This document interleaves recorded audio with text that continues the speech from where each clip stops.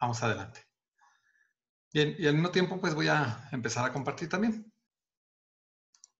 Denme dos segundos. Bien, en la sesión anterior nos quedamos precisamente aquí, en, al inicio del esquema de trazados de circuitos integrados, y les decía yo que me parecía un buen punto para poder concluir ahí la sesión, porque eh, pues esta, esta parte del esquema de trazados de circuitos integrados es muy rápida, la vamos a pasar bastante rápido, porque solamente tiene dos o tres bemoles diferentes a cómo se venía trabajando con la ley de la propiedad industrial. Y bueno, ¿qué es lo que tiene de diferente? Para empezar, un esquema de trazados de circuitos integrados es muy común que, se confunda con, con, un chip o que se confunda también con una tarjeta PCB, que son las tarjetas que ustedes identifican de las computadoras, como lo, donde viene la memoria o donde está la tarjeta madre de la computadora. Un esquema de trazado de circuitos no es eso, para que lo tengan presente. El esquema de trazados de circuitos integrados tiene más que ver con la funcionalidad o con el diseño que tiene un, un chip, un dispositivo que me permite generar una serie de operaciones dentro de una computadora. Por lo tanto, hay que tener mucho cuidado en no confundir lo que es un circuito con lo que es esa tarjeta PCB que se conocen en, ingeniería, ni tampoco tiene que ver con este, esta conexión de cables. No se trata de eso, sino que son una serie de máscaras que eh, por cuestiones de silicio, o, de, o del manejo de, de, semiconductores me permite a mí desarrollar muchas operaciones, generalmente son lógicas o matemáticas, y esas máscaras son las que se pueden proteger como el esquema de trazado de circuitos del que estamos hablando, para que no, no lleguemos a por ahí a confundir la situación. Bien, entonces, cuando un esquema de, de trazado de circuito integrado puede estar o no dentro del circuito integrado. Puede ser que ustedes trabajen con el puro, las puras máscaras sin necesidad de estar trabajando con el, con el circuito completo para que tengan cuidado. Y la otra es que también pudieran estar eh, vinculados a, la plataforma o, al, al, a la arquitectura de la computadora. Lo importante aquí es que hay que cuidar si fue explotado con anterioridad o no ha sido explotado comercialmente. Si ya fue explotado y no se presentó ante alguna autoridad para su, propia, para su propio registro, entonces vamos a, contar a partir de la fecha de que se hizo la primera explotación comercial y los dos años siguientes para que no se considere que se encuentra afectado de novedad. Por lo tanto, Recuerden que aquí se tienen dos años, es la única figura que nos permite divulgar la primera o explotarla comercialmente y se tienen dos años para poder eh, presentar su registro. Cuando vayan ustedes a hacer este tipo de, de registros, deben de tener mucho cuidado si el circuito ya se encuentra en su forma final o se encuentra en forma intermedia. Esta es una de las modificaciones que tiene la ley con respecto a los circuitos integrados, a los esquemas de trazados de circuitos integrados, porque anteriormente eh, te decía, este es un esquema de trazado de circuito y nada más. Pero ahora ya diferencia. Si el circuito integrado se encuentra en forma inicial o en forma intermedia, lo puedes proteger. Si el esquema de trazados se encuentra solamente a nivel topografía, también lo puedes proteger. Si el esquema de trazados se encuentra protegido, generalmente se encuentra protegido por capas de silicio, para poder hacer la funcionalidad que tiene, o bien si el esquema de trazados es original. En estas cuatro condiciones sí se podrá registrar un esquema de trazados de circuitos integrados, o bien ya la ley diferencia cuando pides un esquema de trazado, nada más, luego cuando tienes un esquema de trazado de circuito, nada más, o bien cuando tienes un esquema de trazado de circuito integrado. Entonces, hay que tener clara, aunque en la solicitud no se hace la diferenciación. Eso es más bien para cuando hagas la memoria técnica, es cuando vas a hacer la diferenciación de, esta figura. En este caso, lo que se busca es que incorpore el, mecanismo activo o algunas de las interconexiones de los cuerpos o superficies que están destinados a realizar la función electrónica. También pudiera ser que presentaras las vistas 3D expresadas de cualquier forma. al menos un elemento activo y algunas de las interconexiones que tenga. Si tú presentas en los dibujos cualquiera de estas dos opciones, está perfecto. Si presentas el esquema de trazados de circuitos integrados, también estará bien. O bien, si presentas todo el esquema completo integrado en el circuito como resultado del esfuerzo de su creador y que este esfuerzo eh, no se considere como habitual o común. Y aquí estas dos palabras no se encuentran definidas como tal.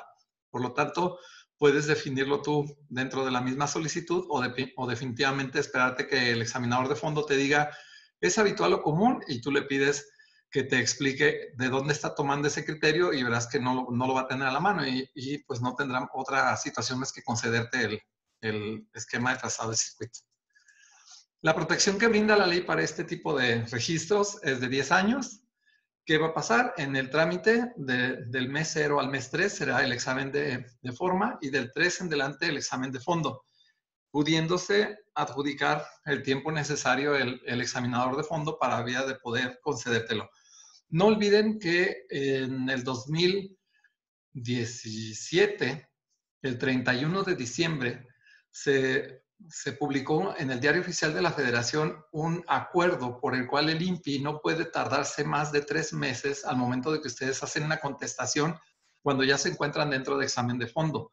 Por lo tanto, si ustedes reciben eh, un primer apercibimiento por parte del INPI, un requisito, y ustedes lo contestan inmediatamente, a partir de ese momento ustedes le están dando celeridad a su proceso porque ya saben que el examinador no se puede tardar más de tres meses después de que le haya dado una contestación.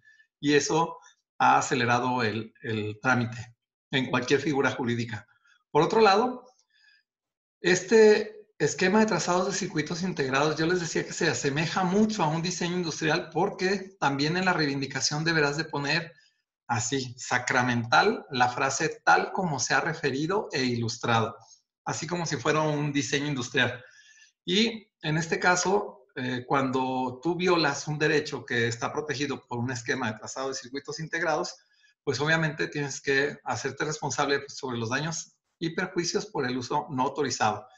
Las siglas que se pueden utilizar para este registro es la sigla M o la sigla T y además deberás de adicional, adicionar la palabra del titular. Esta es una nueva nomenclatura que hay, incluso hay nueva nomenclatura para las marcas colectivas o las marcas de certificación que no teníamos antes en la ley de propiedad industrial y por tanto hay que tener cuidado. Aquellas personas que les gusta mucho poner las siglas TM como trademark en el caso de Estados Unidos, tomen en cuenta que para el caso mexicano no son válidas estas siglas y por tanto pudieras estar incurriendo en un detalle de no estar usando una marca que esté registrada o bien un registro que no ostente las siglas tal como lo solicita la ley, para que tengas cuidado y no vayas a enfrentar un dolor de cabeza al respecto, sobre todo cuando ya tienes un registro para que uses la sigla correcta o, las, o la denominación correcta de su registro.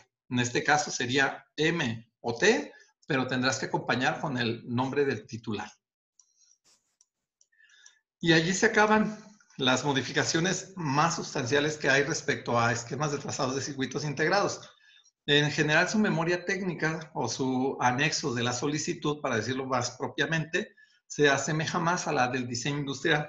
Ustedes tienen que presentar vistas, pudieran ser las máscaras como tal, así se conocen estas capas de los circuitos integrados y presentar las capas como tal y eso será lo que quedará como registrado. Recuerden en su reivindicación siempre tal como se ha referido e ilustrado. Enseguida tenemos a los secretos industriales. Los secretos industriales, a pesar de que es una figura que en México tiene mucho tiempo de uso, lo más parecido aquí en el, en el occidente de la República y que yo creo que ya se ha hecho una generalización de, esta, de este producto. Hasta hace unos años se tenía lo más parecido a un secreto industrial en México era la, la salsa huichol. No sé si ustedes la llegaron a, la ubiquen o la, o la llegaron a conocer, o, la, o si en el norte la conozcan o en el sur. Pero la salsa huichol, el público consumidor la prefería para, eh, específicamente para el ceviche.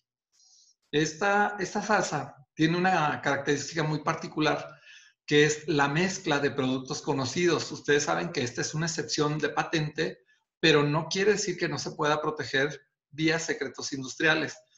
La legislación anterior solamente nos daba seis artículos que eran del 82 al 88 para poder tratar de regular todo lo que era un secreto industrial y esta legislación ahora pone un capítulo más y hace algunas precisiones que no tenía la, la legislación anterior. Veamos cuáles son. Por un lado, bueno, se mantiene que el objeto de la protección de un secreto industrial es información, control legal confidencial, una ventaja competitiva o económica, medios o sus sistemas, un acceso restringido, cualquier información de, que le brinde a cualquier persona una ventaja competitiva frente al público, a su competidor o, también que el público consumidor lo esté prefiriendo, se podrá reservar como un secreto industrial.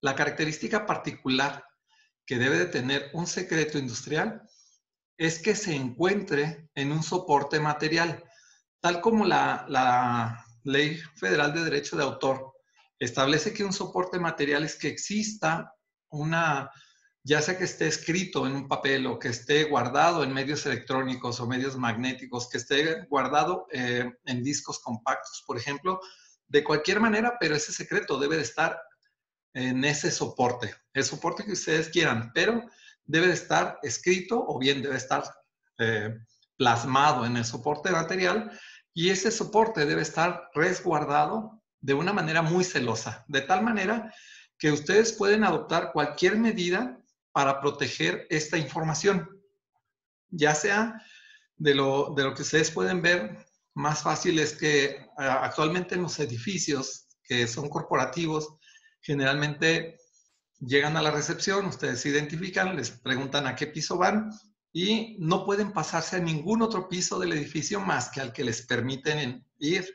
O bien avisan, vino fulano de tal, quiere entrar a la oficina este, y les dicen, está bien, ahí que se espere y viene una persona por ustedes para que solamente con esta persona ingresan y también esta persona será la encargada de, sacarlos hasta la, el lobby del, del edificio.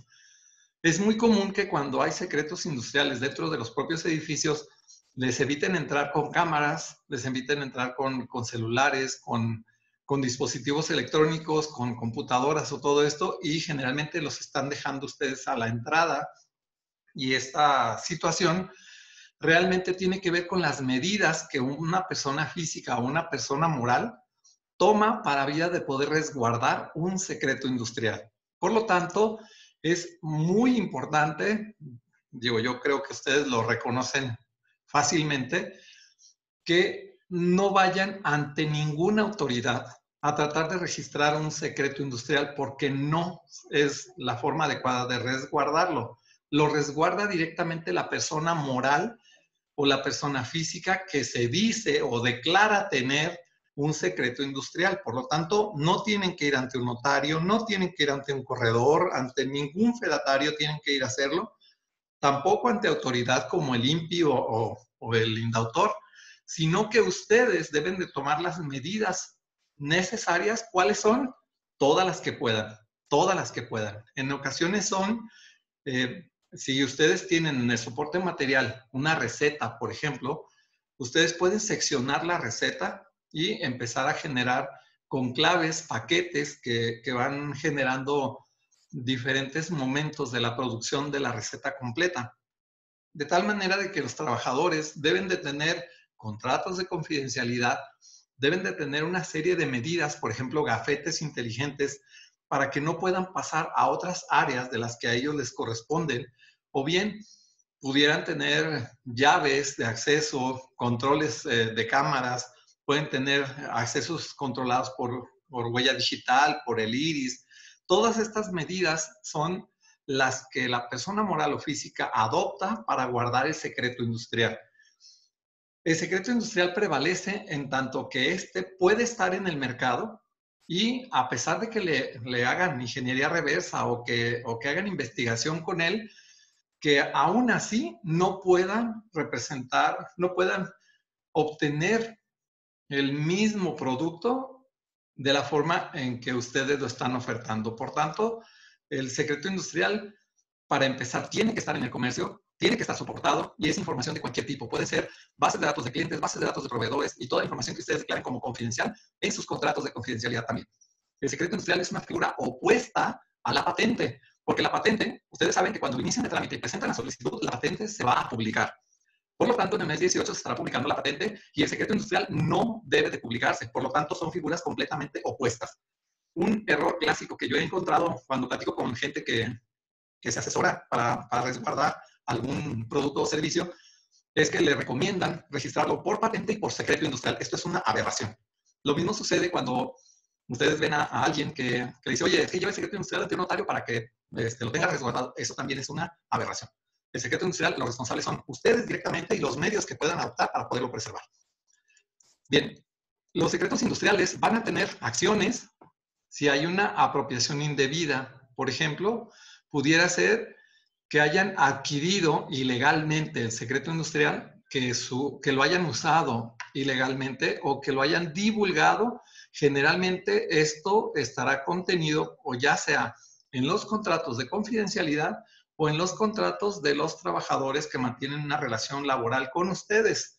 Y por lo tanto es importante que los contratos deben de, de estar redactados con cláusulas tanto de confidencialidad como de eh, resguardo de secreto industrial para que el propio trabajador, particularmente en, la, en el apartado de declaraciones, que él asuma que va a trabajar con una parte, un segmento del secreto industrial y por tanto, cuando se vaya de la empresa, ustedes puedan decirle, muy bien, ya te, vas de con nosotros, este, que te vaya muy bien, pero te recuerdo, en el contrato que tú firmaste, además de mantener la reserva respecto a la información que vas a conocer dentro de la relación laboral con la que vas a estar trabajando, también cuando te vayas, y eso debe de estar dentro de las cláusulas desde el principio, eh, pueden ustedes obligarlo a que no divulgue información que conoció dentro de la empresa hasta por cinco años. Esta parte es el plazo máximo que conceden los códigos civiles respecto al Código Civil Federal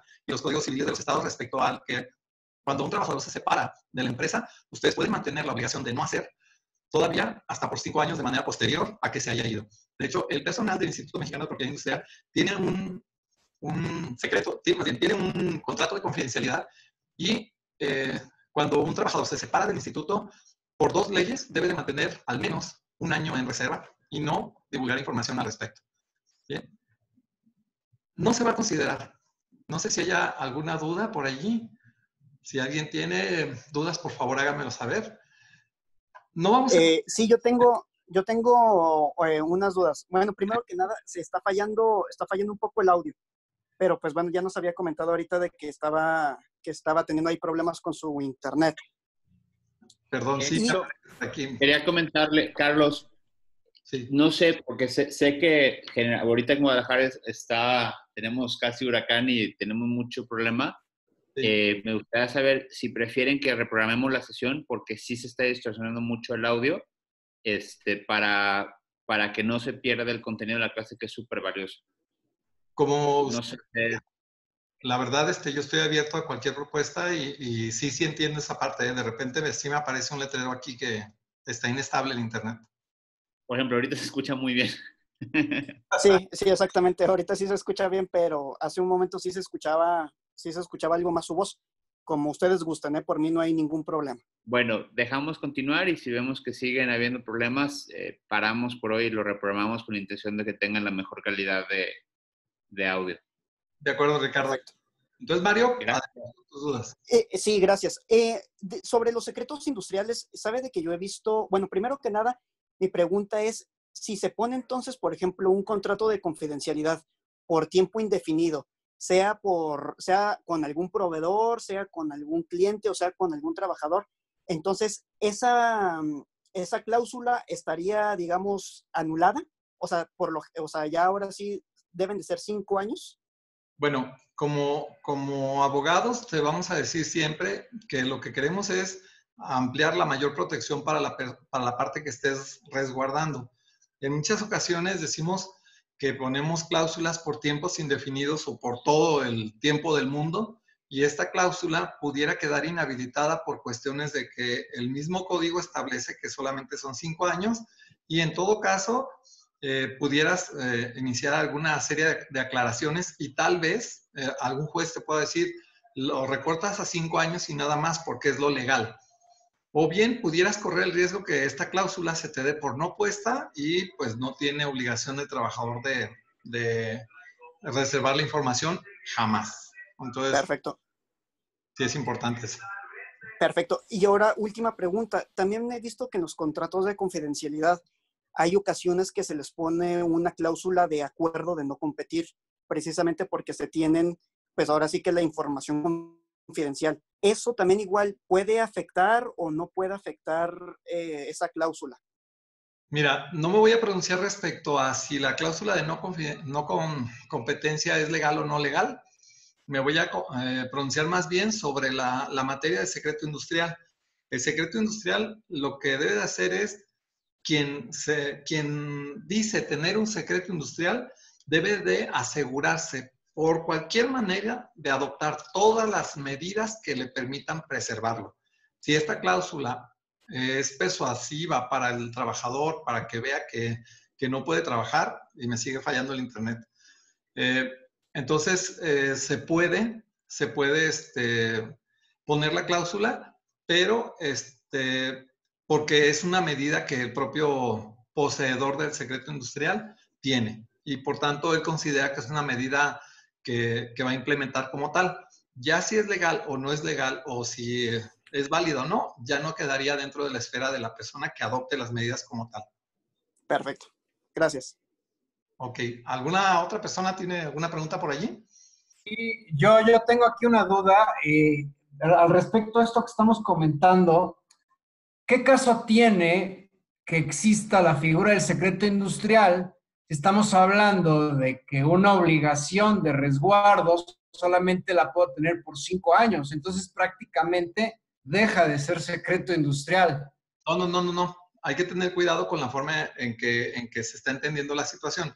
El secreto industrial lo declara tener una persona y mientras pueda permanecer en el mercado sin que al aplicarle ingeniería reversa puedan eh, dar con la formulación, con, con el contenido del secreto, el secreto permanece.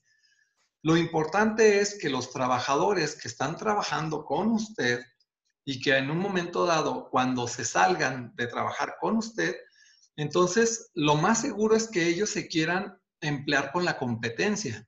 Por lo tanto, usted puede decirles, a ver, te vas de conmigo, muy bien, no hay ningún problema, rompemos la relación laboral, pero yo te puedo seguir obligando a ti, una cláusula de no hacer, una obligación de no hacer, a no divulgar la información que tuviste conocimiento mientras trabajaste conmigo hasta por un periodo de cinco años.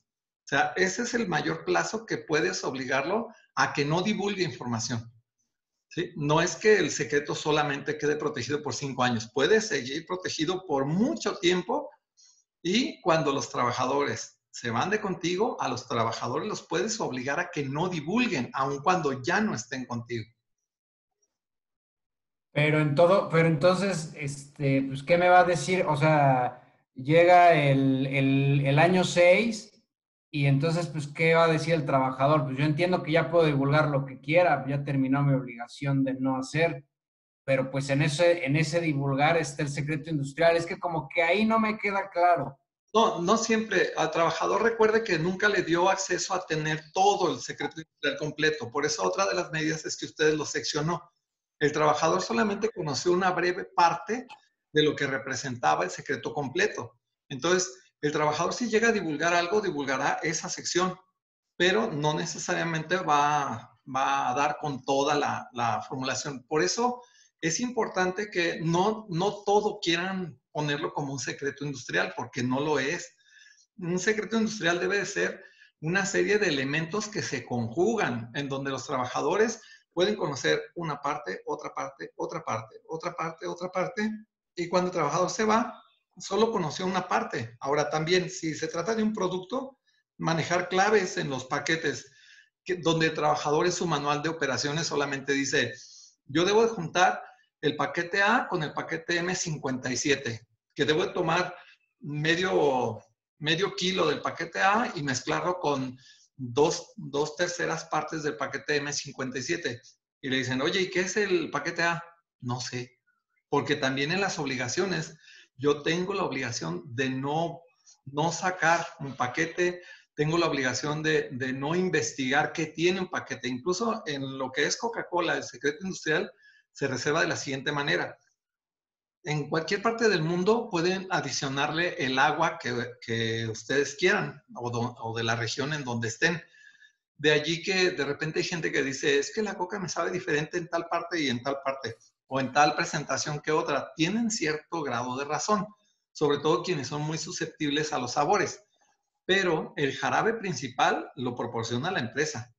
Entonces, para las personas que reciben el jarabe principal, tienen unos contratos de confidencialidad de entrada que no pueden abrir contenedor eh, y sacar muestras del jarabe que contiene, sino que tienen que esperar a que se hagan determinados procesos dentro de la empresa para abrir el contenedor, y luego para estarlo utilizando y deben de llevar unas bitácoras extremadamente rígidas, de tal manera que la gente pues sí sabe que se usa un jarabe, pero no sabe qué contiene el jarabe. Y por otro lado, eh, sabe que se le adiciona una cantidad de agua, pero no sabe la reacción que produce en el jarabe. Entonces, estas situaciones son medios de preservación del secreto industrial. Por eso no es tanto el que qué caso tiene, claro que tiene caso. Ahora, si no, no tuviéramos, por ejemplo, pues la receta secreta de Kentucky Fried Chicken, o no tuviéramos, por ejemplo, el caso del secreto industrial educativo del TEC de Monterrey, o hay una serie de, de, información. Recuerden que el secreto industrial prevalece casi siempre sobre la información, no es un objeto, para que tengan mucho cuidado. No es un objeto en sí, una máquina, sería el peor error tratar de registrar, de protegerla como secreto industrial. ¿Por qué? porque sencillamente yo compro la máquina y ya está en mi, en mi esfera patrimonial y por tanto yo la puedo destrozar y puedo saber cómo está hecha y automáticamente ah, terminé con el secreto industrial. El secreto industrial lleva una serie de información, de procesos, de know-how. Ahí es donde precisamente radica el know-how. Y por ejemplo, una, no sé, unas recetas de restaurantes que ahí pues prácticamente, imagínate que sea este, un tema como una franquicia, que digo, la franquicia pues es así, eh, el sistema como tal, pues se tiene que hacer un contrato y una carta oferta, pero que, que, por ejemplo, las recetas como tal fueran un secreto industrial, ahí cómo le haces, porque a final de cuentas, pues te, te, debe de saber igual el sushi aquí en Puebla que en Guadalajara o que en, Monterrey, si es que va a ser de la misma marca ahí cómo, cómo se protegería o qué se podría hacer. Lo que pasa es que el secreto industrial no necesariamente va sobre toda la fórmula, puede ser sobre las partes más este, representativas de la, de la formulación o de, las, o, del, de la receta en ese caso. No, no, ah, no crea que es tan débil la protección al momento de que solamente se conocen algunas partes y pasan a ser las recetas, son los elementos más característicos que se resguardan como secretos industriales. Hablaba yo de la salsa huichol. La salsa huichol no está protegida por patente su formulación. Tampoco es algo que usted diga, no, pues eh, no la puedo preparar. A pesar de que usted la puede preparar y puede hacer todas las, todas las, las los intentos de dar con el mismo sabor a la fecha no se ha dado con el mismo sabor y por tanto era lo que yo decía, es lo más parecido que tenemos a un secreto industrial en virtud de que está protegida la marca, sí, está protegido los avisos comerciales, la botella si usted gusta, pero la, la, mezcla de productos conocidos es una excepción de patente por ser una mezcla de productos conocidos, pero también la puede seguir resguardando como secreto industrial. Por lo tanto, esto vendría a ser como una serie de anillos en donde las personas que tienen acceso al soporte material en donde se encuentra el secreto industrial deberán de tener un contrato de confidencialidad mucho más fuerte y ser las menos posibles para que no se pueda tener conocimiento de toda la formulación eh, completa en, el, en, el, en posesión de una, dos o tres personas. Es las menos posibles. ¿Cuántas? Dependerá de la, de la naturaleza de, de la información que tiene. Y conforme se va saliendo de los anillos, el segundo aro de anillos de protección, que ya no están tan cercanos a la receta, deberán de tener un secreto industrial pues ya un poco más, más laxo, pero en este segundo anillo de protección puede estar más seccionada que en el anterior. Y en un tercer anillo deberá de haber contratos de confidencialidad más seccionada la receta. Ahora, esto póngalo en un edificio en donde no puedan entrar los del primer anillo al segundo anillo, al tercer anillo, etcétera. O bien que la información que va saliendo, digamos, desde arriba hacia las partes bajas del edificio, pudieran llegar como series de paquetes con claves en donde ya no saben qué tiene la receta. Mucho más si en un momento dado hay una planta en una ciudad y hay otra planta en otra ciudad y a pesar de que las personas trabajan para la misma empresa, entre ellas no mantienen una relación que les permita ir deduciendo el secreto. Todas estas son medidas que puede adoptar la persona que se dice tenedora o poseedora de un secreto industrial para evitar que se conozca la formulación completa. Ok, correcto. Clarísimo, gracias. A la orden. La legislación anterior solamente decía que cuando alguien violaba un secreto industrial, pues era acreedor a las sanciones que establecía el código y en realidad esto era como a 870 pesos, Ricardo, por allí. Una, una cosa de risa, verdaderamente de risa, de, de qué era la sanción, cuál era la sanción que tenía la persona que, que violaba un secreto industrial o divulgaba información. Eh, pues, la parte como más complicada, bueno, no había como tal, bueno, la ley pasada la infracción no existía, más bien es, o sea, era el delito directo, pero ya lo platicamos en la clase correspondiente con los que me acompañaron en el primer curso, eh, qué complicado era poder hacer que estas eh, que analizamos que eran como cinco aristas de, factores y de, hechos, pues comprobarlos era prácticamente imposible porque pues, son cosas que por su misma naturaleza eran difíciles de comprobar y aparte tienes hechos específicos de competitividad que, bueno, pues nos ponían en un gran, gran aprieto. Así es, y además cuando podía uno comprobar, pues la sanción era verdaderamente para dar risa, era muy, muy, muy poca. En esta nueva legislación, eh, ya nos dicen, bueno, tú puedes tener eh, la violación de un secreto industrial si hay apropiación indebida. Luego te definen lo que no es una apropiación indebida. Por ejemplo, que alguien por descubrimiento o por creación independiente dio con la formulación, no se considera una apropiación indebida. Las observaciones, estudios, desmontajes, ensayos lícitos, no sujetos a confidencialidad, no se van a considerar apropiaciones indebidas. La adquisición legítima sin obligación de confidencialidad tampoco será entonces una violación a estos, estos secretos. Y por tanto, dice la ley, entonces, basta con que compruebes que hay competencia desleal, que hay una apropiación indebida, con eso prosperará el hecho de que están violando el secreto industrial. Anteriormente esto no existía y además las, las sanciones ya se consideran una infracción y, por lo tanto están un poquito ya más reguladas que en, la legislación anterior. Se considerará entonces competencia desleal para el caso de secretos industriales cualquier tercero que tenga información respecto al secreto industrial y que mantenga una comunicación directa o indirecta con la persona que este, ya conocía el secreto industrial. También cuando existan motivos suficientes para saber que existe el secreto industrial y sin embargo las personas que están obligadas no la, no la, resguardan. Y la adquisición contraria de usos de, a los buenos usos y costumbres que hay en el comercio podrán ser suficientes para hablar de una mala apropiación del secreto industrial. Bien.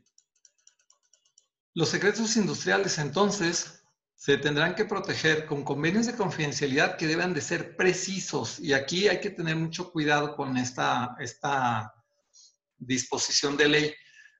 cuando alguien dice, te voy a obligar por la confidencialidad en tu contrato de la información que te voy a dar y te dicen por toda la información que te voy a proporcionar, automáticamente ese convenio de confidencialidad o contrato de confidencialidad es impreciso. Por lo tanto, deben de tener cuidado en no obligar a los trabajadores con las frases por todo lo que conozcas o, por o toda la información que te voy a dar.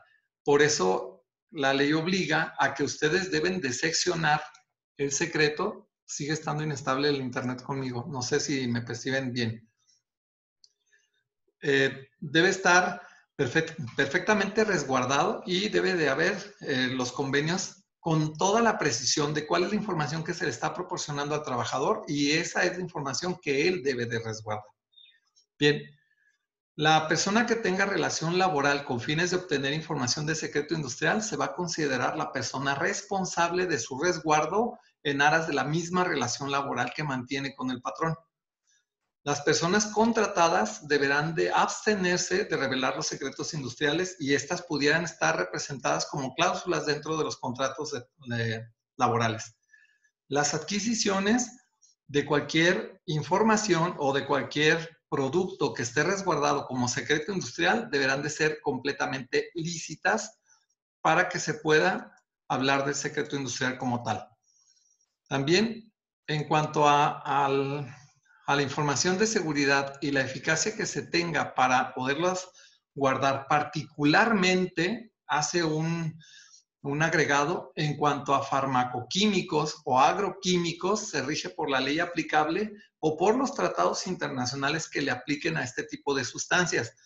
Por lo tanto, si ustedes tienen fertilizantes, por ejemplo, o si tienen eh, información de medicamentos y que en un momento dado los van a resguardar por secretos industriales, no basta con que ustedes hagan referencia a la ley de la protección de la propiedad industrial o bien que hagan alguna vinculación con COFEPRIS o hagan alguna vinculación con, no sé, sustancias este, riesgosas, sino que deban en un momento dado revisar los tratados internacionales para ver allá cómo pueden estar resguardados, no solamente para el mercado local, y que su contrato tenga información de validez a nivel global.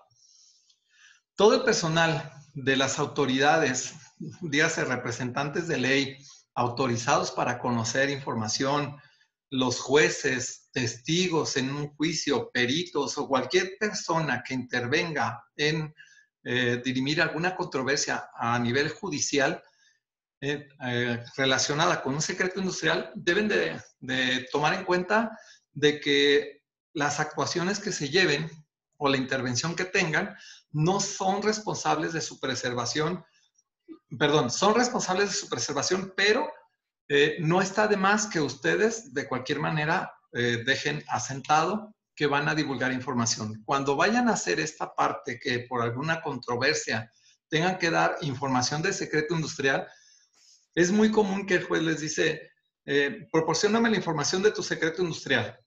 Ustedes pueden limitar el actuar del juez y decirle, a ver, no te voy a proporcionar toda la información, mejor dime qué parte del secreto es la que te interesa saber para que tengas conocimiento del secreto y que en su momento puedas este, decir si hay violación o no hay violación o dirimas la controversia. Pero eh, definitivamente no te voy a dar toda la información. Si el juez le solicita toda la información, pueden también obligar al juez mediante escrito y decirle que la información que van a proporcionar pues es altamente confidencial, no la vayan a poner como reservada, porque recuerden que eso es muy diferente de información reservada información confidencial. Y de alguna manera, de, déjenselo saber también al juez de que tiene ciertas obligaciones que en su momento va a tener que cuidar. Bien. ¿Estamos bien con la conexión?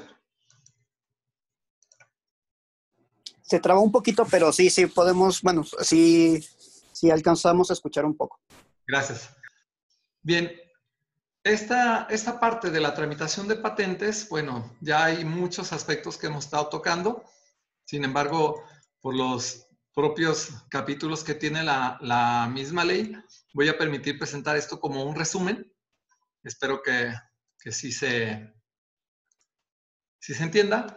Primero, bueno, ya saben, entre el mes 0 y el mes 3 tenemos el examen de forma. A los 12 meses tenemos el plazo suficiente para poder reclamar una solicitud, ya sea convenio de París o a nivel PST, si es que se quiere solicitar, antes del mes 12. La publicación de la solicitud invariablemente se va a hacer a los 18 meses, teniendo posibilidad de pagar la publicación anticipada, particularmente cuando ustedes vayan a, eh, tengan eh, sospecha de que puede ser susceptible de violación, entonces paguen publicación anticipada para que puedan hacer retroactivas las acciones a la fecha de publicación. Entre el mes 18 y el mes 20 hay dos meses que se le van a conceder a cualquier tercero para que presente información respecto a que se oponga para que les concedan a ustedes la patente. Si transcurridos estos dos meses no se presentó información alguna, entonces continúa el trámite. Pero si se presentó información alguna, el INPI va a valorar esa información y no tiene la obligación de pronunciarse si la va a desechar o si la va a tomar o prospere para evitar que se conceda la patente. Si la información no fue adecuada o la suficiente para poder impedir que a ustedes se les conceda la patente, continuará el examen de fondo y a partir de la publicación de los 18 meses en delante, se podrá hacer consulta por cualquier persona del, del contenido completo de la patente. Por eso les digo que se publica y es contrario al secreto industrial.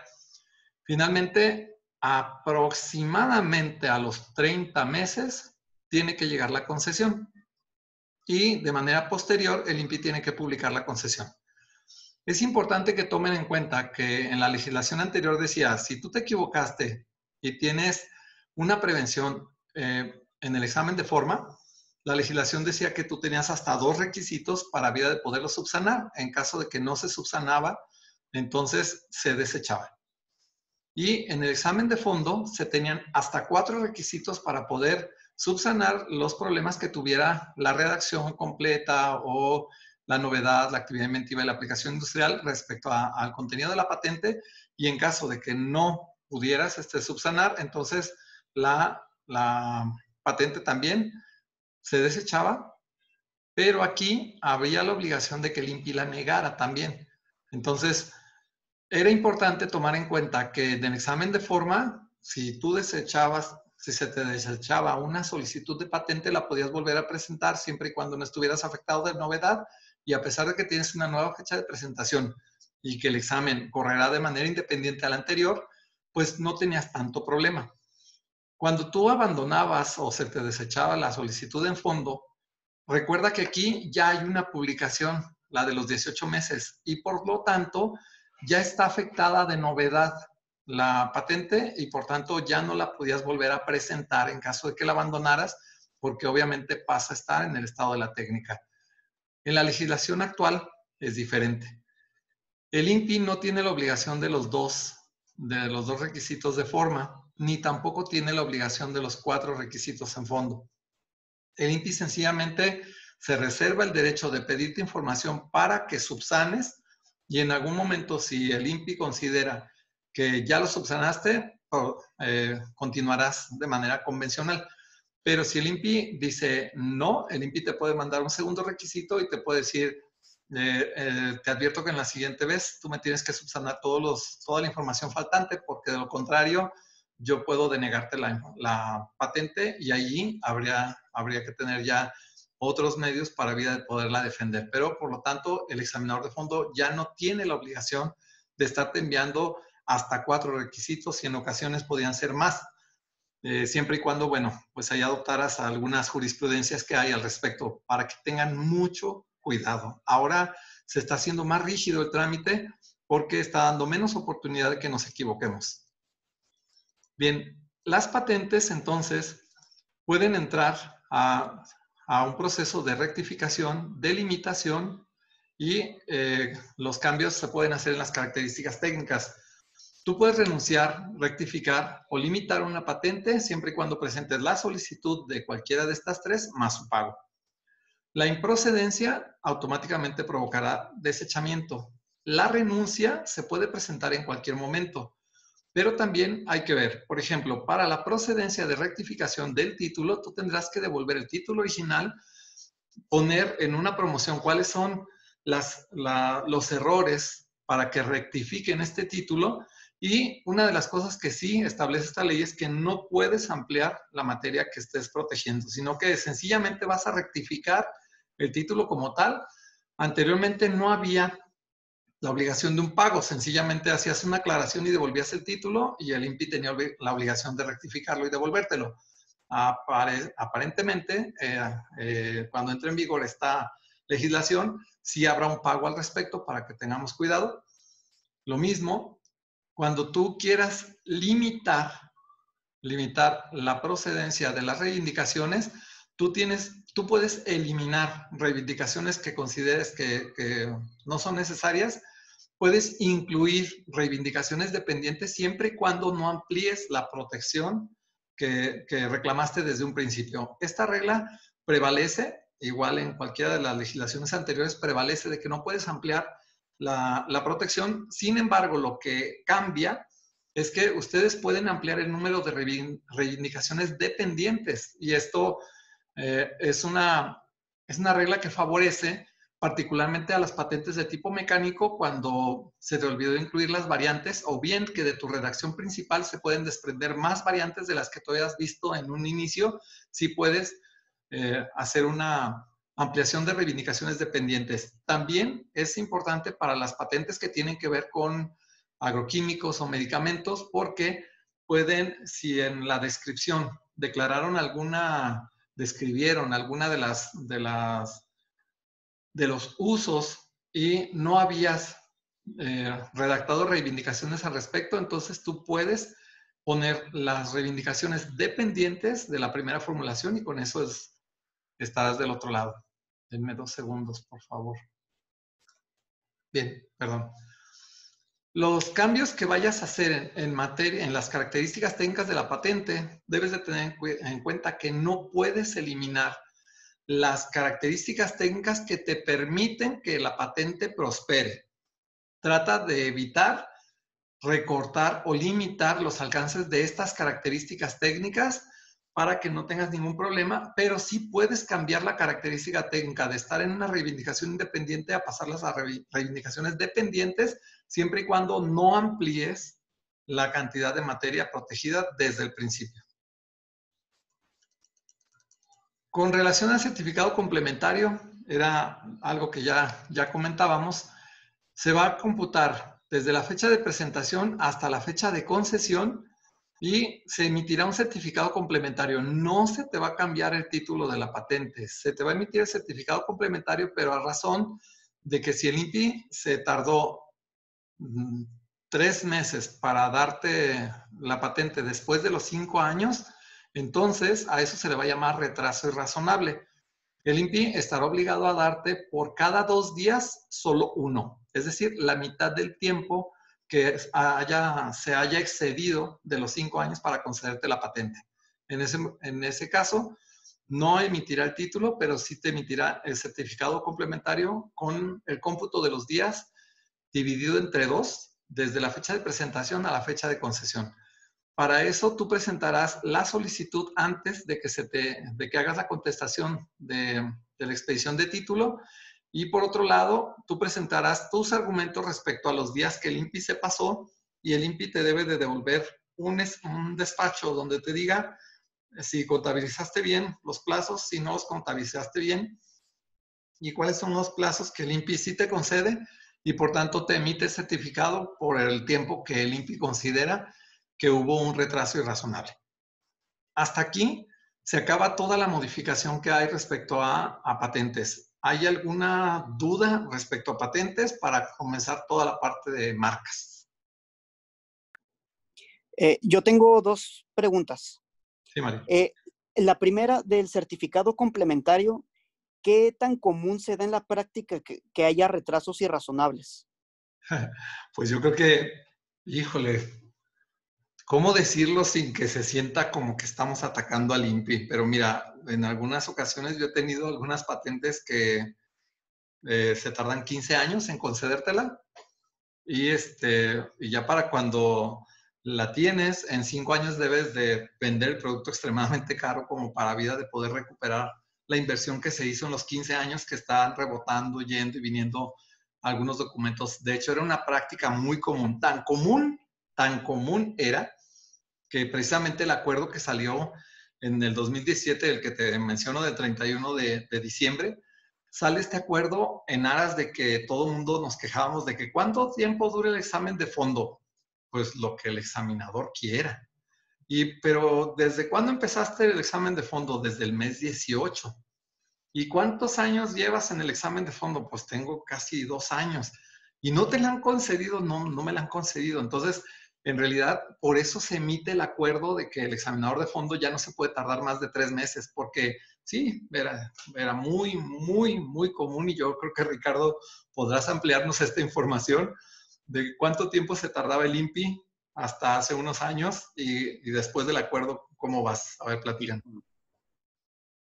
Yo creo que, o sea, pues los dos hemos sido víctimas de ese tema, pero la que me ha ido mejor yo creo que fueron cuatro años y medio. O sea, no, yo no he tenido ningún proceso de solicitud de patente menor a cuatro años y medio. Y es triste porque muchas, muchas se abandonan porque propiamente el cliente, a lo mejor después de un segundo oficio de fondo, ya incluso su propio proyecto ya no está tan vigente y, dice, no, más lana ya, mejor ahí déjelo. Y este, sí es un largo, largo, largo camino. Entonces eso abona a, tu, a la respuesta, Mario. ¿Y cuál es la otra? Sí, ya, bueno, ya me di cuenta de que entonces sí es, sí es bastante, bastante común. Y la otra pregunta, y creo que esta pregunta la tuve que haber hecho desde la primera sesión, nada más de que, pues bueno, ya se me, este, ahorita ya la vengo haciendo, es en caso de que haya, eh, eh, por ejemplo, farmacovigilancia o tecnovigilancia por parte de COFEPRIS, y eh, sale de que algún dispositivo médico o algún fármaco es nocivo, es nocivo para la salud. En este caso, ¿se puede anular una, la concesión de una patente o en este caso, cuál es la función de que haya ahora autoridades vinculantes? Bien, importante. Eh, anteriormente pasaba lo siguiente. Se concedió una patente de un medicamento, voy a pensar en una química, para hablar de algo más, muy sencillo, y eh, la COFEPRIS daba permisos de explotación de medicamentos que, que, tenían las pruebas de bioequivalencia a la misma patente que estaba concedida. Entonces era muy común que un laboratorio decía, oye, pues es que yo tengo la patente, ¿para qué le das el permiso de por las pruebas de bioequivalencia? Y la COFEPRIS sencillamente decía, pues porque esa es mi función y porque eso es lo que tengo que hacer. Y no, no existía esta relación entre COFEPRIS e INPI. Entonces, mucho tiempo se estuvo peleando de que se tenían que, vincular estas dos. No es exclusivo un problema de México, sino que también eh, así prevaleció durante mucho tiempo y eran unas largas pláticas las que se hacían en la OMPI para vida de tratar que las instituciones de salud o las certificadas, las que proporcionaban este tipo de permiso en los diferentes países, estuvieran en estrecha comunicación con, con, las oficinas de patentes por este tipo de circunstancias, porque tú sacabas un medicamento con toda la información, con toda la, la inversión de recursos para vida de poder llegar a la concesión del medicamento y pensar que eres el único que la vas a explotar y, oh sorpresa, pues no, ya había medicamentos en el mercado que eran equivalentes a lo que tú estabas vendiendo como de patente. Por lo tanto, esta controversia siempre eh, suscitaba muchos problemas con los laboratorios porque tú podías tener la patente, pero yo podía tener el, permiso de COFEPRIS. Actualmente, el INPI y, la COFEPRIS se van a a proporcionar información los dos, de tal manera de que ya no puede emitirse un permiso para COFEPRIS si existe patente vigente que proteja tanto la sustancia activa como cualquier bioequivalente que pueda tener e incluso si la COFEPRIS llegara a, proporcionar algún permiso o estuviera por proporcionarlo, hay una disposición que el INPI debe de cuidar que no se dé la información que sea igual o no se concede permiso que sea igual o similar a la patente que está en trámite o bien concedida. Ante eso, la COFEPRIS eh, no está dicho, y esto todavía creo que es lo que va a suceder en el reglamento, es tomaba la información que le estaban presentando para obtener ese permiso y le debe de pasar eh, traslado, correr traslado a la persona que se puede afectar en la patente para que manifestara lo que a su derecho eh, convenga. Entonces, esta, por lo menos esta vinculación ya al menos va a poner en evidencia a las personas que están solicitando este tipo de permisos y si existe una obligación por parte de la autoridad, no sé si va a ser la COFEPRIS o va a ser el INPI, pero de avisarle al tercero perjudicado en este caso, al tercero interesado, en que se, se dé o no se dé el, permiso como tal. Y este, esa es una, una buena noticia, creo yo, porque el propio INPI dentro de esta ley sí, sí dice que el INPI se debe de asegurar de que no se proporcione eh, certificado, registro, permiso de explotación que sea idéntico o similar al contenido de una patente.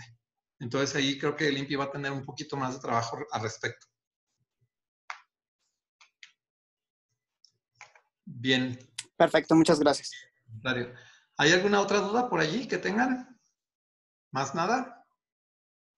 Entonces, si no es así, vámonos a la, a la parte ya un poquito que, que, a muchos les gusta y peleamos aquí bastante con las situaciones de los signos distintivos, que para empezar, la ley no tiene un apartado de signos distintivos. Entonces, ya ahora se van a regir por sus propias denominaciones las figuras jurídicas de marcas, marca colectiva, marca de certificación, marca, este, denominación de origen eh, y cada, el aviso comercial y el nombre comercial. ¿sí? Contrario a lo que muchos de nosotros siempre hemos creído que el, aviso, que el nombre comercial es una figura que va a caer en desuso, pareciera que no. Incluso lo van a ver al momento que toquemos esta, esta figura, cómo es que empieza a, retomar fuerza, digo yo, el nombre comercial, a pesar de ser una publicación, sin embargo, tiene una regulación ya un tanto más fuerte. Bien, importantísimo entonces, le voy a llamar signos distintivos, pero ustedes saben que no existe así el, apartado como tal dentro de la ley, pero para que tengamos la referencia a las figuras jurídicas de las que estamos hablando. Bien, de entrada, pues se va a, modificar la definición de marca, ¿verdad? Eh, hasta la legislación anterior se tenía como, es un signo perceptible por los sentidos, que esto permitió que entraran las marcas no tradicionales para su trámite, como las olfativas, las gustativas, o bien quitamos ya del mapa en esta legislación totalmente el hablar de marcas mixtas, marcas nominadas, marcas nominadas y marcas este, tridimensionales. Ahora son marcas, aquellas que sean perceptibles por los sentidos solamente y pueden ser combinaciones entre una olfativa con logotipo, una, una auditiva eh, con denominación, o sea, pueden haber mezclas muy raras respecto a las marcas, porque ya ahora será que sea perceptible solamente. Esa es la condición más, más importante que hay que la marca sea perceptible por los sentidos y que se aplique a un producto o un servicio de manera específica. Importantísimo. Anteriormente, la legislación todavía anterior, la de la ley de la propiedad industrial, nos permitía poner en la, en la descripción de productos y servicios, poner la clase y el encabezado del clasificador de NISA para vida de poder adjudicarme de manera general al menos la mayor cantidad de productos que correspondieran a esa clase. A partir de la legislación que cambió en el 2018 y ahora esta, ya les dicen, no te puedo dar, a pesar de que tú pongas el encabezado completo, no te puedo dar la protección sobre todos los productos de la clase. Por lo tanto, esto será motivo de requisito y aguas con estos requisitos porque ahí van a, van a ver una desventaja que tenemos. Eh, al momento de que tú vayas a decir para qué producto o servicio se va a aplicar la marca, debes de ser específico concreto y además puedes utilizar las hojas adicionales en caso de que no cupieran los dos renglones que te dan del formato de, del llenado del formato en el apartado de productos o servicios. Pero sí es importante que no, te, no pongas toda la clase porque el INPI te va a decir que no se puede poner el encabezado de la clase y te va a mandar un requisito. Tú cuando contestes este requisito vas a decir, ah, bueno, como el INPI me lo está diciendo, pues voy a poner los productos como si puedo recortar, puedo limitar los productos o servicios que tiene. Entonces ya haces la descripción de aquellos productos a los que tú quisiste referir la marca desde un inicio. Pero esta legislación dice que cuando tú varíes los productos o servicios, entonces tendrás que pagar una nueva marca, un nuevo registro, porque se considerará que el examen de forma y de fondo de esa marca ya se realizó y por tanto, ahora que estás variando los productos o servicios a los que se va a aplicar, será sujeto de un nuevo examen. Por lo tanto, te pedirá que pagues ya sea la contestación con el nuevo pago de la solicitud o bien que abandones esa solicitud y presentes una nueva para que solamente hagas el pago de la solicitud. Esta estrategia no es también la más adecuada porque como la que dejas sin contestar se encuentra vigente y tú presentas la nueva, a pesar de que seas el mismo titular, el INPI tiene la obligación de referirte como anterioridad la que dejaste en trámite. Por lo tanto, sí es importante que o bien la pides que se retire esa solicitud para que puedas presentar la nueva y que no vaya a representar algún dolor de cabeza en el trámite de la nueva solicitud. Ten mucho cuidado con este detalle. Bien. ¿Qué podrá ser una marca? Bueno, las denominaciones, letras, todas estas partes, que de hecho precisamente en esta presentación las puse como signos, eh, signos continuados, suspensivos, porque son todas las que tú ya conoces, denominaciones, letras, signos, símbolos, combinaciones de colores, etcétera. Pero lo que tiene de diferente es que también los hologramas. En la legislación anterior los hologramas no se podían proteger, ahora sí, pero hay una restricción respecto a los hologramas. Todos aquellos que sean hologramas que se consideren con novedad, es decir, aquellos que ya se encuentran en el, en el comercio y que son de uso común, no son susceptibles de registro. Por lo tanto, eh, de lo que más me viene a la mente es que eh, aproximadamente en 1980, de los 80 a los 90, las tarjetas bancarias tenían un holograma, particularmente las de una firma bancaria, y este holograma era una palomita que se movía. Esa no fue registrable en aquel entonces con aquella legislación. En esta legislación pudiera ser susceptible de registro, pero esa palomita particularmente ya es de uso común y por lo tanto ya no se puede registrar. Las formas 3D, todas serán registrables siempre y cuando reúnan las características de novedad y que no sean descriptivas de los productos que pretenden amparar.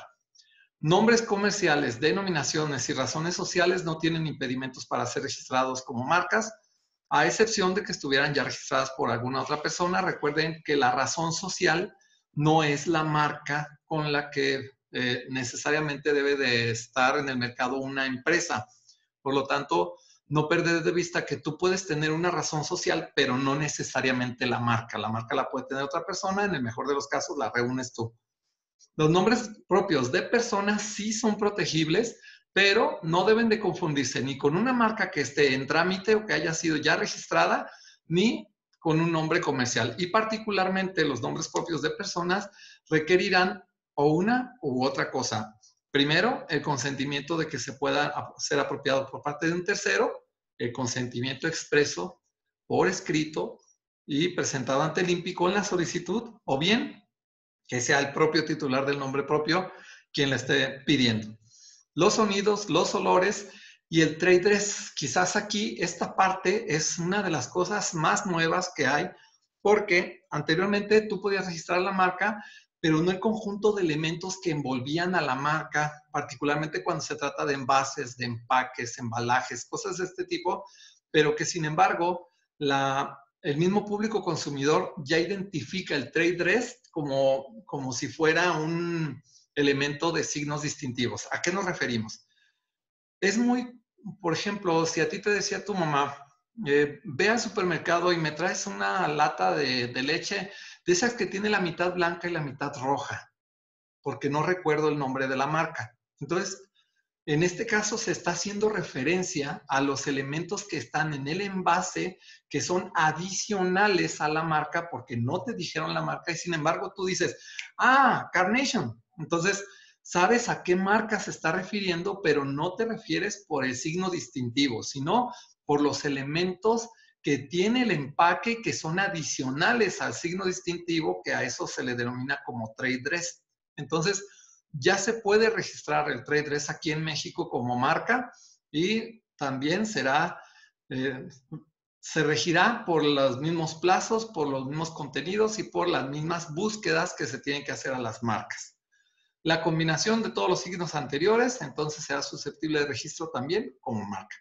No sé si está clara la idea de trade, dress para todos o requieren algún otro ejemplo que les pueda dar. Bueno, quiero asumir que está claro. Sí, pero no. Este, Otro ejemplo. el, el dress también puede ser, eh, se me ocurre cómo están dispuestas las, este, las Apple Store. Por ejemplo el Starbucks, cómo, cómo tiene dispuestos todos sus, sus franquicias. Es correcto. Eh, la parte de, de cómo se disponen los objetos en una negociación, de hecho esto le viene a dar mucha fuerza a las, a las franquicias eh, particularmente porque siempre que están en una negociación de tipo, este, digamos, el Starbucks, es muy diferente a cómo está dispuesto un Black Coffee, por ejemplo. O bien, recuerden que como son combinaciones de cualquiera de las anteriores, eh, cuando ustedes ingresan a un, a un Starbucks, tiene un olor particular y ese olor también puede estar dentro del trade dress. Entonces, es el, el vestim, es, la investidura o, cómo vistes al negocio o cómo vistes a la marca para vida de, vistes no de ver, sino de, de, vestimenta que tiene la marca o todos los, los elementos asociados adicionales a la sola denominación de la marca. ¿Sí? Entonces creo que me dieron ustedes un muy buen ejemplo de traders. ¿Está claro con esto? Sí, bueno, por mi parte sí. Ok. Bien, entonces eso es el trade dress. También ya puede ser el empaque, puede ser la negociación, puede ser muchísimos elementos adicionales de registro para una marca. Las marcas que no van a ser registrables como marca, y así es como lo, lo dice la ley, ya saben, algunas ya las conocen, nombres técnicos, frases, elementos de lenguaje corriente, genéricos que carezcan de distintividad, todas las formas tridimensionales de uso común, las formas usuales que por su naturaleza funcionalidad, particularmente para el caso de las marcas tridimensionales, signos distintivos, pero ahora sí se nos establece la prohibición de solamente variar especie, calidad, cantidad, composición o destino. Anteriormente, nosotros decíamos, pues los aumentativos no te los va a dar el INPI, el, singular, el plural, el diminutivo tampoco. Si una marca está registrada y tú quieres registrar el diminutivo, no te la van a, no te la van a conceder. Ya ahora esta legislación sí dice, mira, ni especie, ni cantidad, ni calidad, ni composición, ni destino, valor, lugar de origen, época de producción o de servicios es suficientemente elemento para poder decir que la marca es eh, distintiva. Por lo tanto, ya no te cases con esto. Esto de que le pongan desde 1984 ya no es distintivo. El que le pongas las auténticas tortas, olvídalo, auténtico no es distintivo. Entonces, tengan mucho cuidado con esto porque ya está regulado por la ley. Y bueno, continuamos con letras, dígitos, nombres, colores aislados o solos. No podrían estar si estuvieran combinados por otros signos que los signos adicionales sí le den el carácter distintivo, que los signos adicionales le den el carácter distintivo, podrán ser susceptibles de protección. Pero si los signos adicionales son descriptivos o entran dentro de cualquiera de los impedimentos anteriores, entonces ya no serán suficientes elementos para poder reclamar la marca. La traducción, transliteración y variación caprichosa, composición artificial, recuerden que no, no se puede. Aquí el elemento que entra es el de transliteración. La traducción todo el mundo la entendemos perfectamente, pero la transliteración tal vez no. Se refiere a aquellos símbolos que son utilizados y que no tienen que ver con el texto de un lenguaje común y corriente como el español. Por ejemplo, cuando utilizan signos como el ampersand, el arroba, el más, el gatito, el signo de admiración cerrado, todos estos signos eh, se tendrán que declarar en la transliteración. Y sí es importante que los, que los pongas o los uses como elementos de defensa para tu examen de fondo, porque de él depende mucho el que te la concedan o no y que la marca pueda ser tan parecida a otra que ya está registrada, que, que bueno, te llevas cada sorpresa. Por ejemplo, ahorita yo, yo decía que la marca Corajillo era semejante en grado de confusión a la marca Carajillo. Y sin embargo, oh sorpresa que sí la concedieron. Y las dos están vigentes. Para mí son semejantes en grado de confusión, pero lo que más me llamó la atención fue que la anterioridad que le citaron a la marca Corajillo fue la marca Corajito. Y este, obviamente por la terminación illo y ito e ito fue por la que se opusieron, pero en la transliteración también este, establecieron allí algún elemento de que es sufijo sí hacía eh, referencia a diferentes elementos y como tal uno era peyorativo y el otro no, y con eso, eh, además de que, bueno, pudieron obtener por ahí la carta consentimiento para que las marcas coexistieran en el mercado, pues sí se concedió. Entonces, yo juraba y perjuraba que no se iba a conceder y sí se concedió. Entonces, eh, los elementos de transliteración o de traducción serán muy importantes. Ya saben ustedes los signos, banderas, emblemas, programas, proyectos, ONGs, todos los, los, símbolos que esté utilizando el gobierno, pero que tengan alusión a sus propios programas. Anteriormente, sencillamente el INPI te lo negaba. Ahora puedes solicitar la autorización y si tienes autorización, adelante. Si no tienes autorización, te lo va a negar. Aquellas que emiten signos de control, sellos, este, garantías adoptadas por un Estado, monedas, billetes, etcétera, no serán registrables como marca. Nombres de condecoraciones, medallas, etcétera. Bueno, todos estos son los que ustedes ya identifican perfectamente. Sin embargo, en, cuando hablamos de idénticos o semejantes en grado de confusión a las zonas geográficas, allí entra un, un detalle que es la confusión se, se actualizará cuando ustedes hablen del género del tipo, manera, imitación, producido en, con fabricación en o similares. Es decir, si ustedes quieren registrar una marca y de repente digan, es tipo cotija, esto será una violación a la ley de protección de la propiedad industrial. Ya no puedes decir imitación tequila, no puedes decir tipo tequila, ya no puedes decir este, producido en Jalisco, no puedes decir producido. O sea, este tipo, estas palabras, y de hecho tal cual las están viendo aquí, es como están presentadas en la ley. O sea, aquellos que se acompañan como género, indicando algún, alguna zona geográfica, gentilicios, tipos, maneras, imitaciones, no serán este, consideradas como marcas. Obviamente, semejantes en grado confusión a denominaciones de origen e indicaciones geográficas. Allí el caso más cercano que yo tengo y que la verdad no entiendo por qué no la puede conceder el instituto es Mezcala. Mezcala, eh, el impedimento legal que, que, alude el instituto es que Mezcala hace alusión al mezcal. Pero si ustedes se ponen a investigar en la geografía del lago de Chapala, está la isla de Mezcala, y la isla de Mezcala no tiene nada que ver con el mezcal, sino que así se llama la isla se objetó por parte de, nosotros hacia el instituto y el instituto sigue diciendo de que mezcala es para el mezcal y por tanto no se puede conceder por ser una imitación de la denominación de origen. Mande, Gaby. Eh, oye, Carlos, pero por ejemplo, Nochebuena, queso tipo manchego, ¿no? ¿Tendría que hacer la modificación de su marca para nada más aparecer Nochebuena y quitarle las leyendas no reservables?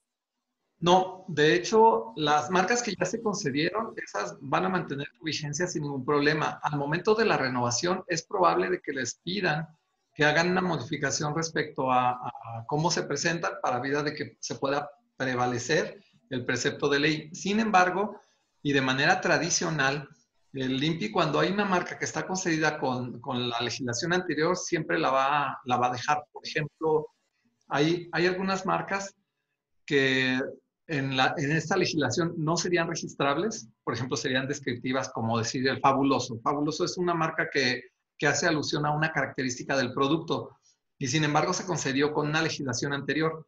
Entonces el INPI no puede eh, eh, caducarla o, dejarla sin protección en virtud de que tiene eh, derechos generados desde la legislación anterior y por tanto esta ley, a pesar de que no le aplica y a pesar que en esta ley puede ser eh, altamente reconocida que no se puede conceder, el INPI siempre la va a dejar por favorecer los derechos adquiridos con anterioridad.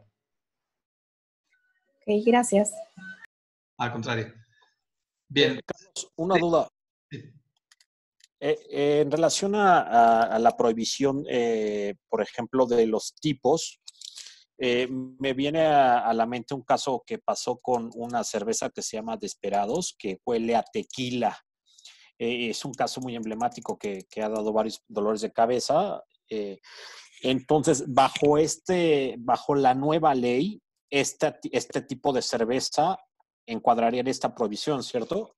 Es correcto. De hecho, encuadraría en dos prohibiciones. En, una, en esta que dice tipo, la que está aquí, pero además la otra en el uso de una denominación de origen sin autorización. Entonces, ah, encuadraría. Muchas gracias. Al contrario, la orden. De hecho, y, son de esas cosas curiosas. Eh, la semana pasada se concedió la marca, eh, discúlpenme si se oye feo, pinche gringo cocinero, algo así.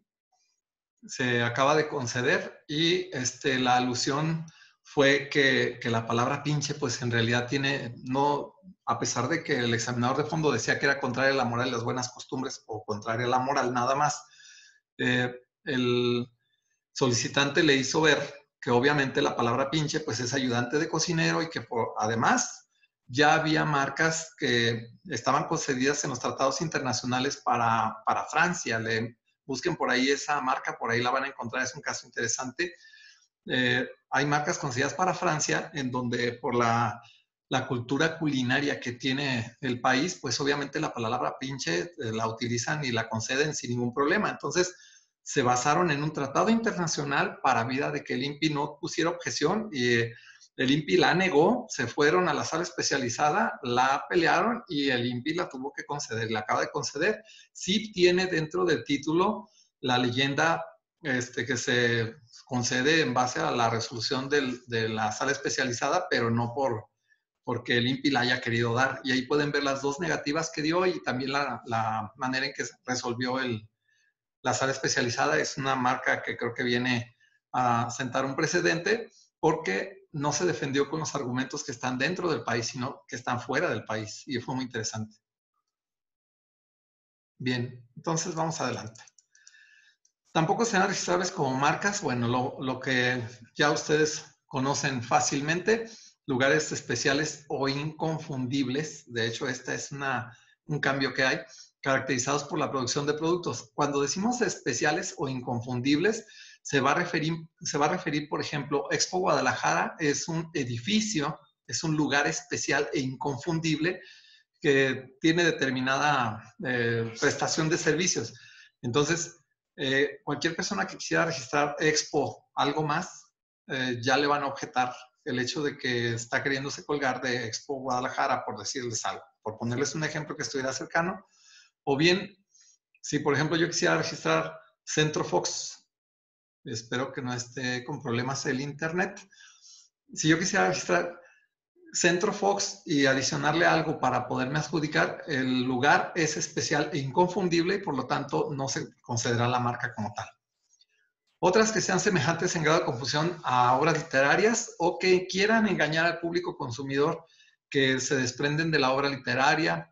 Y aquí es donde es muy común que ahorita los diseñadores quieren registrar Agavia by Carlos Machuca. Y ese by, este, traten de evitarlos porque eh, de entrada será un impedimento porque están indicando el origen para empezar. Segundo, están vinculando la ley de propiedad industrial con la ley de derecho de autor.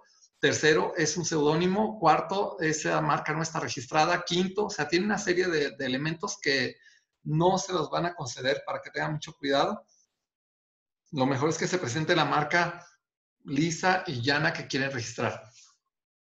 Signos, frases, elementos de imagen, oraciones, avisos comerciales, etcétera, que induzcan al error, naturaleza o composición las cualidades o el origen empresarial o gubernamental de los productos o servicios que se desean amparar con ellas, tampoco Perdón, perdón, aquí, aquí tengo, tengo un par de dudas de estas dos este, que acabas de mencionar. Eh, lo primero que mencionas este, este by, pero por ejemplo, el ejemplo que tú dijiste, ¿no? Eh, by Carlos Machuca, pero si la registras tú, tú eres Carlos Machuca, ¿a poco no te la, no te la dan? Mire, ahí el, el, problema está en que como los nombres propios son susceptibles de registro, yo tengo que asegurarme de tener registrado Carlos Machuca primero y luego ya la marca que diga by Carlos Machuca y ser yo el que la está solicitando, porque de lo contrario, eh, incluso anteriormente yo pensaba que era el único en el mundo y puse en alguna ocasión en las redes sociales Carlos Machuca y me encontré, hijos, habemos como unos 400 Carlos Machuca y en algún momento me puse en contacto con todos ellos y todos nos llamamos Carlos Machuca. Y es muy curioso, ¿no? Entonces, debo de, asegurarme que el nombre propio lo tengo registrado para poder hacer uso de esa parte del by Carlos Machuca y que en un momento dado eh, no me vaya a objetar el INPI que le está, está siendo presentado o pretendiéndome adjudicar el nombre de, propio de alguien que no necesariamente soy yo. Ok. esa es la primera. ¿Y la segunda? Sí, este, te quería comentar un caso ahorita que estamos viendo esta, en la excepción del origen empresarial. Es un asunto que me llegó porque resulta que trataron de registrar una marca para unas gasolineras. Y el INPI eh, pues dijo que no iban a registrar la marca porque estaba relacionada con una persona que presuntamente es guachicolero. Entonces aquí nosotros dijimos, ah, eh, vaya, este, empezamos a revisar el asunto. A mí la verdad me tocó ya revisar el requerimiento, yo no presenté la marca y empecé a checarlo y dije, a ver, aquí lo único que veo yo, o sea, obviamente pues me metí a internet, pregunté por la persona a la que decían que era guachicolero, etcétera, y realmente lo único que se estaba basando el INPI era en puro periodicazo. No me, no me señaló ni una averiguación previa, ni mucho menos, a ver, esta persona está libre, o sea, incluso ha manifestado que, a él, él es un perseguido político porque es empresario, etcétera, y ni siquiera es él quien está intentando registrar la marca, es otra persona. No, no se está, bueno, yo ya contesté en ese sentido, según yo, pero pues lo quería comentar contigo que, que tienes más experiencia, se excede en sus, en sus facultades el INPI, ¿no? Porque prácticamente el INPI está enjuiciando y sentenciando a este señor. ¿Cómo ves tú? Totalmente. De hecho, es muy común que cuando usted presente el nombre de alguna persona, el INPI solamente busca en Internet el, que, eh, el nombre de esa persona y luego asocia la marca como tal.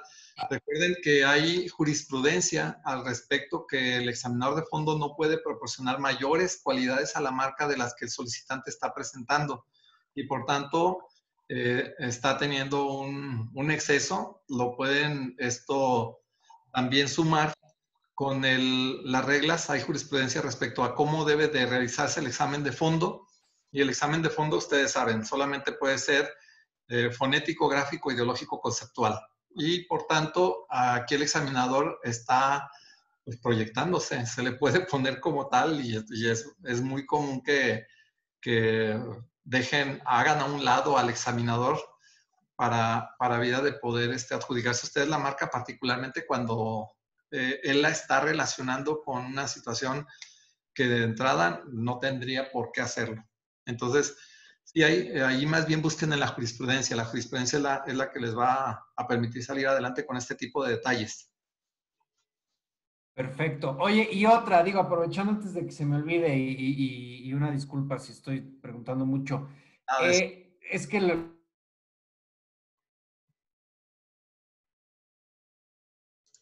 No te escucho. Hay que ser específico. Eh, a ver, ¿ya me escuchas o no? Sí, ahí ya te escucho. Ok. Eh, tengo entendido que si, por ejemplo, presento un registro de marca por todos los servicios que se me ocurran de la, ah, de la clase 43, ¿no? Que este, hotelería, este, restaurantes, bla, bla, bla, lo que sea, ¿no? Por ejemplo, vamos a poner hotelería y restaurantes. Tengo entendido que en tres años que me toca hacer el aviso de uso, existe la posibilidad de que diga, oye, Impi, ¿sabes qué? Que la estoy usando solo para restaurantes. Entonces, ¿es válido o ahí también tendría que sucedería esto que me dices de volver a pagar por otra marca? No, ahí ya no pasaría porque la marca ya está concedida, o sea, ya se, tendría concedida como tal. Lo que sí, este, esta legislación establece de que se puede solicitar la caducidad parcial de aquellos productos sobre los cuales no se haya comprobado el, el uso real y efectivo. O también al momento de hacer eh, la comprobación de uso, usted va a estar obligado a comprobar el uso real y efectivo sobre los productos que realmente esté comercializando. En caso de que dentro de los productos, por ejemplo, la clase 43 son servicios de restauración, entiéndase alimentación y eh, servicios para proveer alimentos y bebidas. Por lo tanto, eh, si usted puso toda, toda esta leyenda, anteriormente tenía hotelería y hospedaje temporal, también la misma clase, y este, digamos que yo me adjudiqué toda esa frase como tal. Y al momento de que yo compruebe el uso real y efectivo, yo puedo pagarla, la comprobación de uso.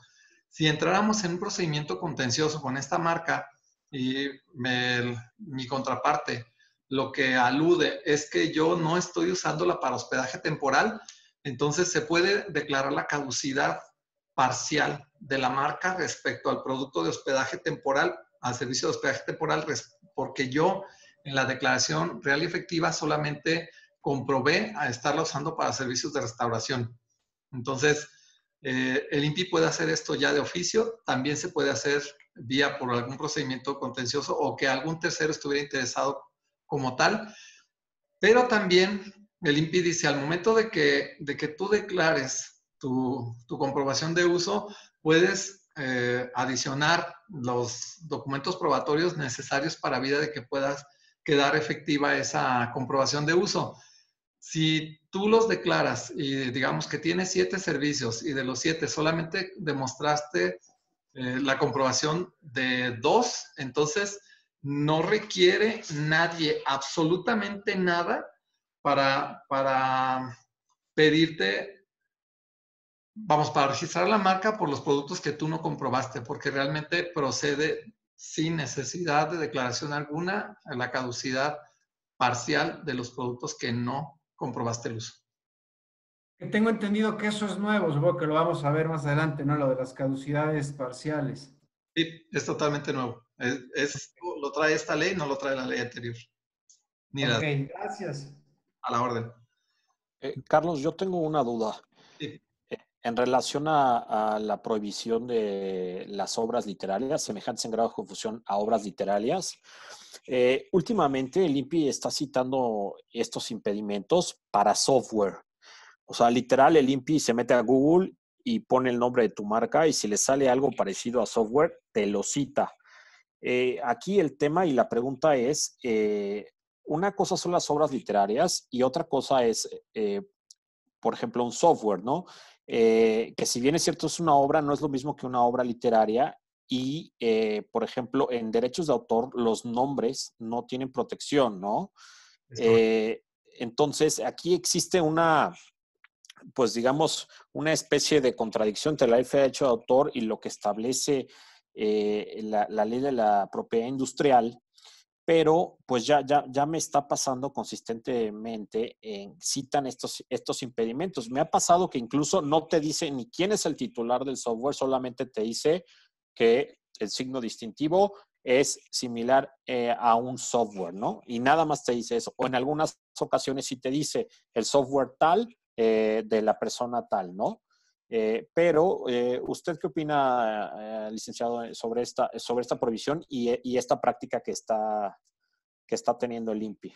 Bien, solo Carlos. Y bueno, comentamos lo siguiente. El, cuando el INPI haga este tipo de, referencias, usted puede eh, objetarle el hecho de que, de que aquí la prohibición está sobre la obra literaria. Ahora, es común, de hecho, tengo yo por ahí alguna, alguna conferencia pendiente con, el licenciado Jesús Paredes, que es el director de, Derecho de Autor, o al menos hasta ahorita todavía creo que lo es, y este, para precisamente ver algunos aspectos de este tipo, porque él alude a que el INPI hace estas referencias porque cuando ustedes se remiten a la parte de software, dice que el software también se va a regir por lo que compete a las obras literarias. Entonces, lo equipara en algunas partes, no en todas. Por eso es importante que al momento de que el INPI le cite a ustedes, si no le cita el nombre del software, obviamente lo está dejando en estado de indefensión porque dice, se parece a un software, pero al no darlo, recuerden que debe de tener todos los elementos del artículo tercero de la ley de procedimiento administrativo, porque también recuerden que es de aplicación directa, artículo primero de, esta ley, y también el artículo tercero establece todos los elementos que debe de tener el, acto administrativo y como tal, pues no es exhaustivo. Al momento de que le está diciendo, hay un software, nada más, ahí eh, eso lo, usted puede aludir a estos dos artículos y con eso eh, sigue avanzando. Ahora, con relación a que le diera el nombre del software, recuerden que el impedimento que puede haber respecto a, que el software tenga origen gubernamental, el INPI lo estaba tomando. De hecho, en alguna ocasión también me tocó, no sé, registro la marca Sigma, una cosa así. Y resulta que yo en mi vida hubiera pensado que es un software que utiliza el gobierno de la Ciudad de México para este, predecir movimientos telúricos o problemas de medio ambiente. Eh, al momento de que me lo refiere el INPI, yo le hago saber que ese software no tiene un conocimiento global o no tiene un conocimiento generalizado en el país y por tanto el que ellos estén, los examinadores de fondo, en la Ciudad de México no implica que nosotros tengamos conocimiento sobre los productos que tiene el gobierno de allá. Lo mismo que hay productos que están en los gobiernos locales y que no necesariamente conoce las personas de la Ciudad de México y por tanto esto pues altera el orden público y ese orden público contraviene con lo dispuesto que la ley es de orden público y por tanto pues también me está afectando en interés. Entonces, esa parte, así fue como yo le di la vuelta y sí me considero la marca. Entonces, ah, creo que es importante empezar a visualizar la ley de protección de la propiedad industrial no solo en lo que contiene eh, de forma intra, sino también lo que contiene de forma extra, porque ya hay que ver qué otros elementos adicionales tenemos en las otras legislaciones que pudieran ser aplicables de manera directa. Recuerden, este es derecho administrativo y como tal, hay muchísimas leyes que pueden atacar al acto administrativo eh, que nos emitan. Yo creo que esas dos deficiencias puede tener. Ah, muchas gracias. Ahora, perdón, eh, eh, perdón que me, que me meta. Ahora también igual, complementando de lo que están diciendo, ahí la propia ley federal del derecho de autor dice de que no se, eh, no se tendrá como derecho de autor los títulos, temas, etcétera. Entonces, yo lo digo porque me tocó a mí registrar una marca que se llama Las Chicas de Humo. Entonces, a mí lo primero que se me vino a la mente fue la canción de Emanuel pero el, pues al final de cuentas, eh, yo cuando yo chequé dije, ah, no, pues bueno, pues de todos modos es un título de una canción, nos, la deben de, nos las deben de conceder. Y sí, al final de cuentas nos otorgaron la, la concesión de la marca. Pero pues también igual, en dado caso de que pudiera haber algún impedimento que, que dijera el INPI de que es que se está invadiendo este, alguna obra literaria o, este, o algún, algún software, pues bueno, digo, se puede argumentar eso de que al final de cuentas es un mero título y que pues incluso está, está como, como la, la ley de propiedad, de, perdón, la ley federal del derecho de autor no lo protege como tal. Es correcto. De hecho, ahí ya se tendría que evaluar que toda la obra completa es la que estuviera metida en la marca. Yo creo que es un elemento de defensa bastante valioso. Es correcto. Oye, Carlos, ¿puedes abrir la tesis que les acabo de mandar? Que creo que esa es una de las que vincula más fuertemente los temas de derechos de autor particularmente con algunos factores como los personajes, los títulos de obras, etc. Creo que esta tesis del tribunal es un antecedente, un criterio eh, que a lo mejor da base. Este, la... Yo una parte de la clase como tal, pues, pero, pero igual como a colación. Lo puse en el chat del grupo. Fíjate que, que no tengo... Ah, sí, creo que sí. Permítame dos segundos. ¿La captura de pantalla es la que me cuentas? Sí, correcto. Ok, dame dos segundos. Que no sé qué relajo hace esto. Mm. Hola, Carlos. Por mientras, ¿te puedo preguntar algo? Claro, con todo gusto. Gracias. Em, pues fíjate que he visto varias marcas registradas que usan el nombre de la marca sea, por ejemplo, Imperio, no sé, y le ponen zapatos, o sea, zapatos Imperio. Y pues a mi parecer no sería como... Bien. O sea, ¿eso se puede? Eh, sí se puede. De hecho, cuando uno asocia una, la descripción del producto o servicio y además está junto con otra palabra, por ejemplo, en este caso imperio, el examen de fondo no recae sobre las, sobre las palabras que no son registrables, como el caso de, la descripción de zapato. Sí puede caer solamente sobre imperio y, como tal, va a ser esta, el examen sobre la palabra sí registrable. Sobre la palabra no registrable, en un principio la va a omitir, pero de manera posterior la va a asumir como parte de la marca. ¿A qué me refiero? Que el, solicitante de la marca, si está pidiendo la marca zapato, zapatos imperio, la tendrá que usar tal como la registró. Por lo tanto, siempre será zapatos imperio. Este argumento a mí me fue suficientemente válido. Por ejemplo, yo quise registrar pastes Don Pepe y me objetaron, me pusieron una anterioridad que es birria Don Pepe. Entonces, yo le dije, principio de especialidad, debido a que él es expreso en su marca que quiere birria, entonces yo le expliqué que era una birria al, examinador de fondo y le digo, yo soy expreso que yo quiero pastes y le expliqué que eran los pastes. Y eh, adicionalmente, el, el propio solicitante de la marca anterior puso específicamente birria en la descripción de productos y servicios y yo en la descripción de productos y servicios yo tenía pastes.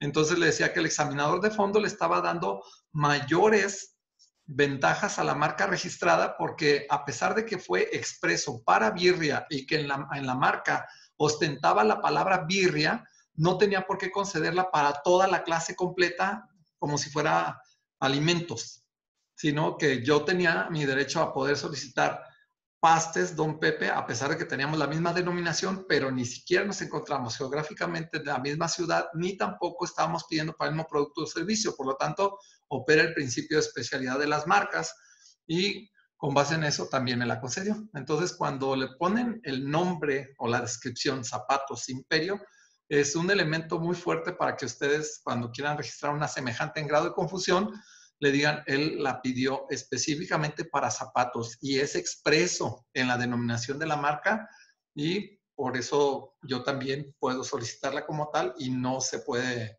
negar la marca como, como yo la solicité. Úsenlo como Perfecto. Y tengo una duda con respecto a la marca de las tintorerías Canadá. Ajá por, pues es que lo que tenía entendido es que pues no podemos registrar nombres de lugares. Bueno, importante, los lugares, los nombres de, de, países, estados, etcétera, en la legislación anterior eh, estaba la prohibición como tal, pero también allí, bueno, hay, hay dos o tres trampitas que se pueden hacer. Eh, la legislación anterior también decía que no se podían registrar los nombres de países, por ejemplo, voy a cerrar a esa, a esa connotación, sin el consentimiento de, de su titular, ¿no? Entonces, ¿yo qué hacía para poder adjudicármela y que el INPI no me dijera que no se podía?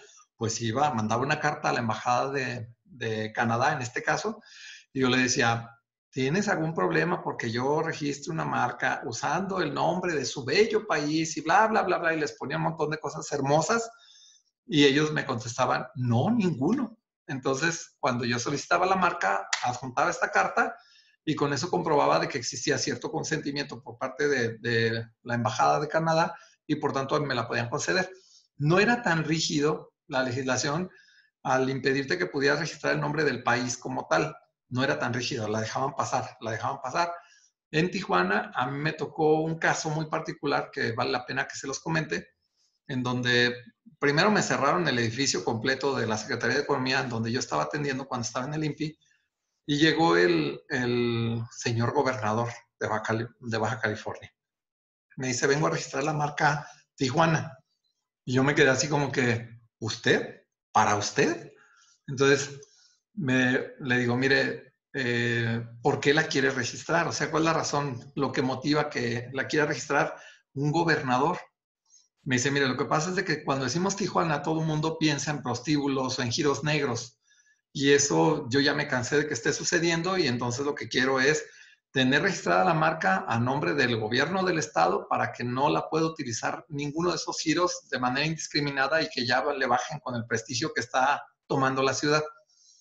Lo que no se daba cuenta el gobernador, y, de hecho fue algo que le hice saber, es que creo que era la fracción cuarta de la, del artículo 90 en aquel entonces, le decía que no se podían utilizar las denominaciones de las ciudades o de los, de los países, emblemas, banderas, etcétera, sin el consentimiento.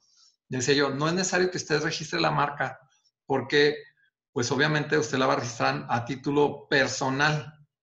Y en ese caso, pues también podía haber problema al momento que él cambiara de, dejar de ser el gobernador, pues él se tenía que llevar la marca porque era el titular.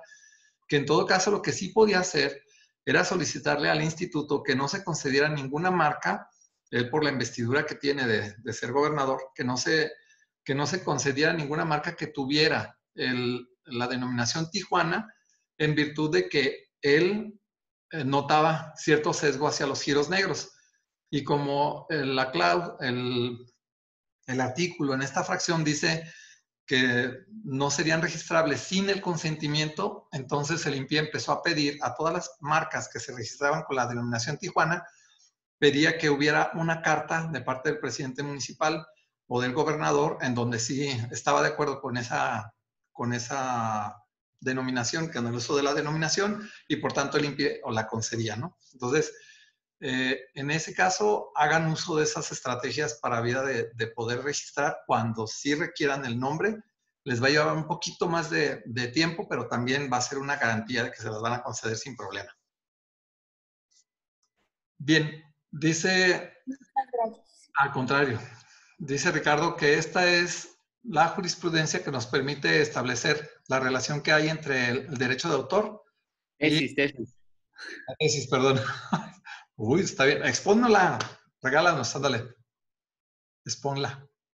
No, o sea, más que otra cosa, es, es una de las pocas tesis que existen en relación eh, de los criterios en relación entre los derechos de autor, particularmente por los personajes, los personajes ficticios y los nombres derivados de obras. Este, en alguna ocasión vimos, por ejemplo, eh, el Central Perk, que era de Friends, que ha sido negado debido a que corresponde a composición de la obra, o por ejemplo en el caso que fue muy famoso aquí en Guadalajara de la cerveza Dove de los Simpsons que fue registrada y que eh, poco a poco se fue generando. Entonces este criterio de alguna forma contrae algunas cosas que tienen que ver con derecho de autor en el sentido este, de las razones por las cuales su negativa. Ok, eh, es interesante y además importante, perdón porque por aquí le di un clic y ya no supe ni dónde la dejé ya, perdón. Este, es interesante que haga esta referencia respecto a, personajes ficticios y también en la tramitación de marcas. Un personaje ficticio, bueno, la figura jurídica en general se llama reserva de derechos. La reserva de derechos la, la, protege la Ley Federal de Derecho de Autor para tres tipos de contenidos, para los nombres de artistas, intérpretes e, y ejecutantes, para los personajes ficticios o que tengan características físicas y psicológicas respecto a una persona y el nombre de las revistas, de los noticieros o todas aquellas publicaciones que tienen contenidos cambiantes. Estos tres, estos tres elementos o estos tres tipos eh, requieren de algo que se llama reserva de derechos. Cuando ustedes presentan la solicitud de una marca y esta marca lleva el nombre de un grupo musical, lo primero que el INPI les va a pedir es que les entreguen el certificado de la reserva de derechos. Si ustedes no la tienen en ese momento y fueron a, tramitar la marca de manera inicial, ese trámite lo van a perder. Porque primero tienen que tramitar la reserva de derechos ante el INDAUTOR y una vez que la tengan, entonces pueden tramitar la marca. ¿Por qué tendría que ser así? Porque los artistas, intérpretes y ejecutantes que comercializan discos requieren la marca para vida de, hacer la comercialización como tal en la clase 35 o en la 41, dependiendo del tipo de evento que tengan. Pero si no son titulares de la reserva y esta sí es una necesidad para que la marca sea concedida, entonces el INPI les va a negar la marca. Por tanto, si van a hacer una revista, un, un periódico un noticiero, un programa de televisión, y aquí ya se incluyen los youtubers o están teniendo este tipo de connotaciones, los youtubers o la gente que está, los influencers como tal. Entonces, tienen que solicitar la reserva de derechos para que cuando tramiten las marcas no vayan a, resultar con un trámite fallido. Y si es por esta situación de la tesis, dice, resulta legal la negativa ante la existencia de un personaje ficticio. Es decir, que si la reserva de derechos existe a nombre de una persona diferente a la que está tramitando la marca, resulta legal que la marca se les va a negar. Para que tengan cuidado con eso. Esta, esta tesis también abona eso, este, Ricardo. Muchas gracias. Bien, vamos entonces adelante. Hasta aquí ya no tenemos preguntas, ¿verdad? Bien, si ustedes observan aquí en este apartado de las obras literarias, por eso también habla ya de las reservas y estamos en ese apartado precisamente. Bien, las marcas que no van a ser registrables también como marcas, pues ya saben, iguales o semejantes en grado de confusión cuando se haya declarado la notoriedad de la marca y aquí hay que tener este, mucho cuidado con la forma en que estamos leyendo la, la ley porque este, resulta que, el INPI, cuando de recién se hizo el primer cambio de la ley, es decir, del 18 de agosto del, 2010 del 2018 a la fecha, decía que la marca era semejante en grado de confusión a una notoriamente conocida. Pero para que la marca sea notoriamente conocida, debe de existir la declaración de notoriedad o bien si la marca es famosa, debe de existir la declaración de marca famosa. Entonces, estos requisitos o estas, eh, estos impedimentos que estuvo girando el INPI, se, era muy sencillo desvirtuarlos en virtud de que pues no existía una declaración como tal y el INPI me estaba eh, dando una mala fundamentación del acto administrativo y con eso era suficiente para poderlo anular y que se, considera, se concediera el registro de la marca. Entonces, esto fue muy, muy, muy común en el tránsito de la ley de 2018 al 2020. Bien. También aquí hay una cosa que, que involucra, dice, cuando sean iguales o semejantes en grado de confusión y se hayan declarado notoriamente desconocidas, pero se regirán por el capítulo tercero de la ley. El capítulo tercero habla de cómo se solicita la declaración de notoriedad o la declaración de, fama. Crear confusión o construir aprovechamiento no autorizado, causar desprestigio o diluir la distintividad, excepto cuando sea el propio titular el que esté solicitando las marcas. Las marcas que sean idénticas o semejantes en grado de confusión a otras en trámite o ya estén registradas, o aquellas que sean idénticas o semejantes con avisos comerciales, lo mismo, idénticas o semejantes con nombres comerciales. Y aquí, oh, pasó una cosa importantísimo para los nombres comerciales en esta ley. Los nombres, la publicación de nombres comerciales tiene una vigencia de 10 años para esta ley y podrá ser renovada la publicación por periodos iguales. Es decir, está poniendo en el mismo nivel a la marca con la publicación del nombre comercial esta legislación. ¿Qué tan bueno, qué tan malo sea? Yo creo que lo vamos a ver más adelante, pero sí, ahora tengan mucho cuidado con los nombres comerciales que estén publicados porque ya la, propia ley de protección a la propiedad industrial le está dando una fuerza, que les decía yo al principio de esta, de esta sesión, que todo el mundo hubiéramos jurado que el nombre comercial iba a desaparecer, porque solamente tiene su valor en la clientela, en la, el círculo de su clientela efectiva. Y sin embargo, la publicación, a pesar de que, de que ya afecta a toda eh, el territorio nacional, también ya es objetable como algo, como un impedimento para las marcas, que no se pueda registrar.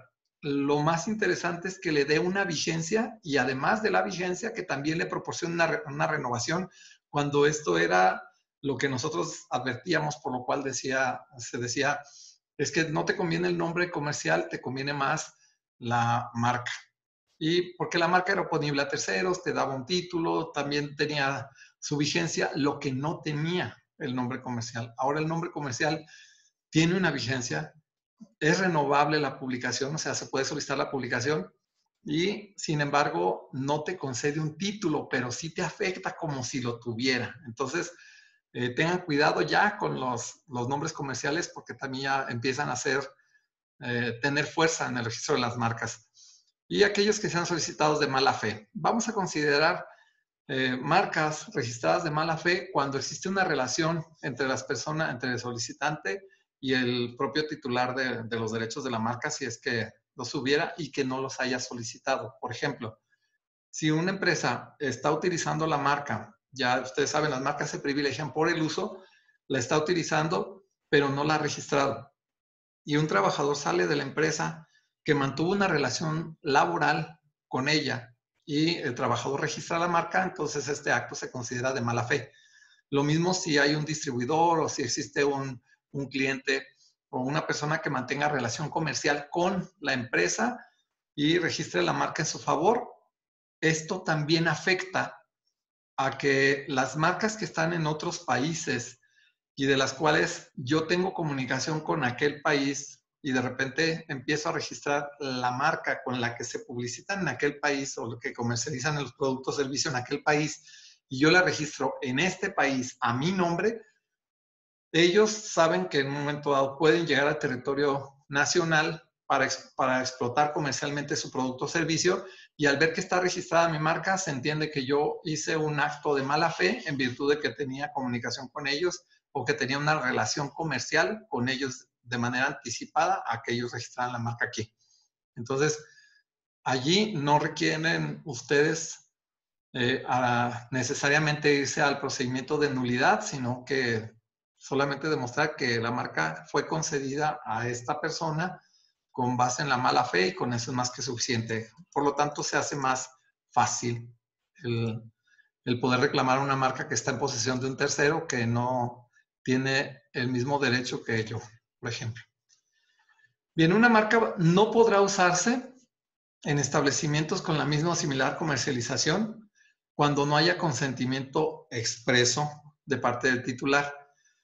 Se hará acreedor a sanciones de ley, a demandas judiciales, a pagos de daños y perjuicios y lo único en lo que no va a aplicar es cuando la marca se haya incluido con anterioridad a la fecha de presentación o a la fecha de, prioridad o que se haya declarado dentro de la solicitud. Entonces, esta será la única excepción para la cual la, marca tendrá esa cualidad que se pueda utilizar. Entonces, por regla general, no se puede usar y se hace acreedor a estos tres detalles, las sanciones, la demanda y el pago de daños y perjuicios. Las marcas no producirán efectos cuando un tercero que explota una marca semejante en grado de confusión antes de la fecha de presentación de aquel que la solicite. Ojo, a pesar de que las marcas se privilegian por el uso y que ustedes pudieran estar usando una marca, no tendrá sus efectos legales contra nadie hasta el momento en que ustedes presenten la solicitud. y aún así tendrán que tener el título en mano para poder tener eh, constituido como tal el derecho para vida de poder iniciar acciones, pero no contra aquellas personas que lo hicieron de manera anterior. Particularmente si están dentro de los cinco años anteriores a la fecha de presentación de la solicitud y además si aquellas personas demuestran tener una mejor fecha de primer uso, entonces aquellos sí podrán solicitarles a ustedes la nulidad de la marca en virtud de que ustedes la presentaron con posterioridad y no tienen una mejor fecha de primer uso que la que ellos sí pudieran tener, para que tengan cuidado con quienes estén usando marcas sin su respectivo registro. La marca tampoco tendrá efectos contra un titular que de manera lícita o su licenciatario introdujo al país para su comercialización, distribución, adquisición y uso del producto que ampara la marca, pero lo hizo de forma lícita. Esto es para permitir el tránsito en las, en las aduanas como tal.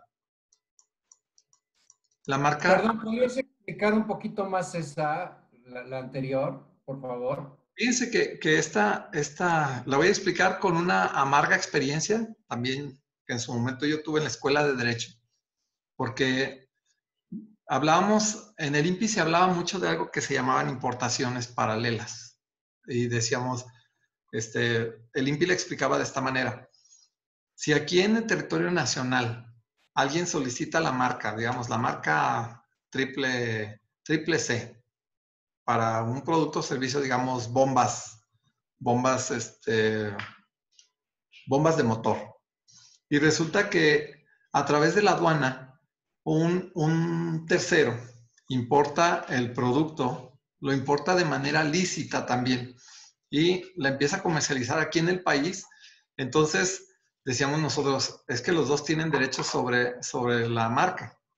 Y esto hacía entonces que tan, se podía comercializar los derechos de la, de la, marca, los productos, servicios que amparaba la marca aquí, y también podía comercializar la persona que importó los productos de manera legal. Entonces, ahora esto ya se regula. ¿Por qué digo que es una mala experiencia? Porque cuando yo lo expuse en, en la escuela de derecho me decían no. O sea, alguien tiene la razón y es forzoso que me pusieron a mí mis profesores como una persona que, no tenía sentido hablar de esto, porque eh, uno de los dos debería de prevalecerle el derecho. Y en todo caso, ellos decían que al titular de la marca. Yo también creo que al titular de la marca, pero si un tercero introduce de forma lícita, el problema ya no está en manos del tercero, sino porque lo hizo de buena fe y además está cumpliendo con los reglamentos para poderlo importar. Entonces, es obligación de las aduanas el impedir eh, la introducción al mercado nacional de aquellos productos que vienen con marcas, y esto ya lo empiezan a ver ustedes fácilmente, sobre todo si tienen tránsito marítimo eh, de, productos, que cuando llega a la aduana un producto, un contenedor, y tiene una marca, lo primero que hace la agencia aduanal es consultar a la base de datos del INPI y ver si efectivamente la marca es del titular quien está importando. En ese caso, no habría ningún problema. Pero si está importando un tercero, detienen el contenedor en la aduana y le dicen, tienes dos opciones, o me muestras eh, la relación comercial que tienes con el titular de la marca, o la otra es que yo no te voy a dejar pasar el contenedor. Esto sí se está haciendo a nivel, a nivel aduanas y también otra situación interesante es que el artículo 25 de la ley de propiedad industrial anterior, a pesar de que faculta a las aduanas para tener contenedores no solo en materia de marcas, también en materia de patentes. Y lo que sí no estaba claro y que nunca, nunca estuvo puesto en ley es que mucho menos en materia de derecho de autor. En algún caso, a mí me sucedió que importaron un producto electrónico, pensemos en teléfonos, y no traía marca. O más bien, el problema no era con la marca, porque la marca no estaba registrada en el INPI, no había ningún impedimento para que se pudiera detener en, frontera el, el dispositivo, pero el titular de la aduana prendió el teléfono. Y cuando lo prende, revisa el software que tiene. Y una vez que revisa el software me dice, ah, mira, por este y este otro software no puedes pasar. Entonces nos quedamos así y eso no se llama abuso de autoridad porque en realidad, ¿qué te faculta? ¿Quién te faculta para aprender el dispositivo electrónico? Y además, tú tendrías que ser autoridad de la materia para pronunciarte si tiene o no violación a los derechos de autor. Adicionalmente, si estamos hablando del dispositivo electrónico per se como, como aparato, entonces tendrías que ser perito, experto o, estar en el INPI, porque solo el INPI es la autoridad de la materia para poder decir si este está infringiendo una patente o no. Entonces, eso derivó en una serie de cuestionamientos que le hicimos hasta el director del SAT. Y le decía, ¿me puede decir qué faculta a los agentes aduanales para aprender los dispositivos? Me decía, ah, es que tenemos una base de datos de marcas. A ver, a ver, te voy a volver a decir, te voy a volver a preguntar. No es por la marca. ¿Quién faculta a la gente aduanal a aprender el dispositivo? Y lo dice, por eso te estoy diciendo, nosotros estamos en vinculación con el INPI y usamos las marcas. Entonces le volví a escribir, le decía, marca es esto, patente es esto, derecho de autor es esto. La marca no es el problema dime qué te faculta actuar en materia de patentes y qué te faculta actuar en materia de derecho de autor. Entonces, pues fue un intercambio bastante largo que incluso por ahí tengo las, los correos guardados hasta el momento en donde le dije, en donde él mismo cayó en cuenta de que ni son expertos en propiedad industrial para el caso de patentes, ni tampoco estaba esta vinculación que, hay ahora con COFEPRIS o que este tipo de, disposiciones sí establece que los agentes aduanales puedan tener ciertas facultades para detener en frontera a las marcas. Pero en materia de patentes y en materia de derecho de autor, esta legislación tampoco tiene ningún precepto para ese tipo de situaciones. Entiéndanlo como lo quieran entender, creo que estoy hablando un poquito de más, ya eh, asúmanlo, creo que es un medio de defensa bastante interesante y pues bueno, eh, ahí lo voy a dejar. Espero que con esto quede un poquito más claro el, detalle. Sí, perfecto, porque precisamente eh, aquí en, en el INPI en Puebla, justo también nos mencionaron eso de las facultades de las aduanas que se estaban excediendo porque en efecto no podían. A mí una vez me tocó que me mandaron un correo de una marca que registré diciéndome, oye, encontramos este producto y creo que la marca se puede, es, parecida a la tuya. Nosotros ni contestamos, dijimos, al final no nos afectaba, pero ese caso lo comenté en el INPI acá, en uno de los, de los talleres que daban de estos de los lunes, y exactamente lo mismo me dijeron, lo mismo que me estás diciendo que se, estaban excediendo y que incluso ya habían dejado de hacerlo, tenían entendido, porque se estaban excediendo, no tenían ninguna facultad para emitir esos comunicados. Efectivamente, y, también, ah, bueno, pues ya eh, concluyamos todo este, toda esta historia también. Dentro de la ley anterior, con las modificaciones de la ley a la, las modificaciones de la ley de ciencia y tecnología, decía que cualquier particular podía pedir un certificado de tecnológico. Entonces, si le soy sincero y si le soy honesto, el INPI nunca supo quién debía de emitir ese certificado tecnológico y el certificado tecnológico estaba dentro de la ley de propiedad industrial y estaba dentro de las facultades que el INPI, de las obligaciones que el INPI tenía para vida de poder este, permitir o no un, este, la comercialización de determinado producto. Entonces, esos certificados nunca existieron, aunque legalmente sí estaban regulados y se suponía que el INPI tenía que emitirlos, pero nunca, nunca, nunca existió ninguno. ¿Ah? Si están viendo a mis, a mis compañeros aquí, son mis roomies, para que no, no se asusten. Bien, las marcas también quedarán sin efectos cuando el nombre la denominación sean aplicados a productos que son introducidos de manera lícita en el comercio y que sean aplicados de la forma acostumbrada como suelen hacerse, pero si dentro de los productos que se aplican de la forma acostumbrada tienen los caracteres de la marca, entonces no se podrá decir que están haciendo un uso no autorizado de la marca o que se puedan instaurar acciones en contra de esas personas porque en el comercio de manera habitual incluyen la marca como si fuera parte del producto. Entonces, eh, aquí no he encontrado un ejemplo que se los pudiera proporcionar y que sea suficientemente claro, pero lo estoy buscando para podérselos este, mostrar y que vean a, qué me refiero con esta parte o a qué se refiere la ley en esta parte. Porque si es interesante que lo ponga de esta manera, porque quiere decir que no necesariamente el hecho de que yo tenga la marca registrada y que la esté usando un tercero para comercializar determinados productos, pero está dentro de, los, de los hábitos, hábitos o la forma acostumbrada en que ese producto se comercializa, no por eso a mí me corresponde tener acciones en contra de esa persona.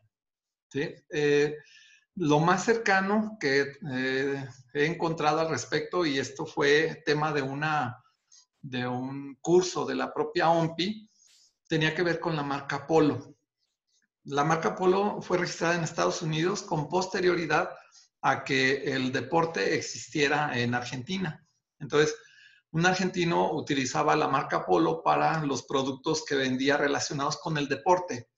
Y también él hizo la protección del, sitio de dominio, el www.polo.com.ar. Y cuando la marca Polo de Estados Unidos se da cuenta de que el sitio existe, demanda a, nivel internacional a través de la OMPI a que el particular dejara de utilizar eh, la palabra polo por no estar autorizado y ser una marca registrada de Estados Unidos. A lo que el particular contestó, estás loco. De hecho, fue, fue muy ilustrativo porque decía que la persona no sabía nada de derecho, no entendía nada de propiedad intelectual, pero lo que sí remitió una carta bastante fuerte a la OMPI cuando le hicieron saber que estaban reclamando que dejara de usar el sitio de dominio Polo eh, y él empezó a, argumentar que estaban locos, que eran una serie de abusadores, que realmente él toda su vida ha utilizado el deporte como tal y él ha vendido los productos para el polo que él quiere, que no porque estos algo así. De hecho, nos tocó ver la carta, fue, les digo, muy interesante. Eh, tenía muchísimas, muchísimas palabras altisonantes en donde agredía a la marca y dice, no porque ellos quieran, yo voy a dejar de usar mi marca, ni mi sitio, ni nada, bla, bla. Ante eso, la OMPI analizó, le dijo, señor, le estamos mandando comunicación para que usted argumente lo a que su derecho convenga. Y la respuesta fue, pues ustedes y también aquellos hagan lo que quieran, palabras más fuertes. Total que la OMPI le volvió a mandar un comunicado y le dice, esos argumentos los voy a tomar como su defensa. Y le dice, pues haz lo que quieras. Así tal cual contestó el argentino. Entonces, al momento que analizaron los elementos, pues sí, cayeron en cuenta de que era la forma habitual en que se conocía el deporte y que el deporte se, conocía de muchísimo tiempo atrás y que el señor había adquirido sus derechos en, en su territorio de manera convencional, de la forma acostumbrada y de ahí había homonimia entre la marca y la marca que estaba registrada, entre los productos que vendía él y la marca que estaba registrada en Estados Unidos. Y por esa razón, pues le dieron la razón al señor. Dijeron, es que no le podemos hacer que deje de usar esa marca cuando tú la registraste con posterioridad. Y además es una cuestión homónima para el deporte. Entonces no te quieras adjudicar o amparar eh, con este signo distintivo todos los productos o todos los nombres del mundo que estén relacionados con los mismos productos que tú vendes. Por tanto, no le dieron la razón a niveles internacionales y lo interesante fue la forma de la defensa que tuvo el argentino. Espero que con eso quede así como un poquito más clara esta parte de, pero de todos modos voy a buscar un caso que esté aquí en el, en el mercado nacional y que se los pueda exponer para que quede así de claro.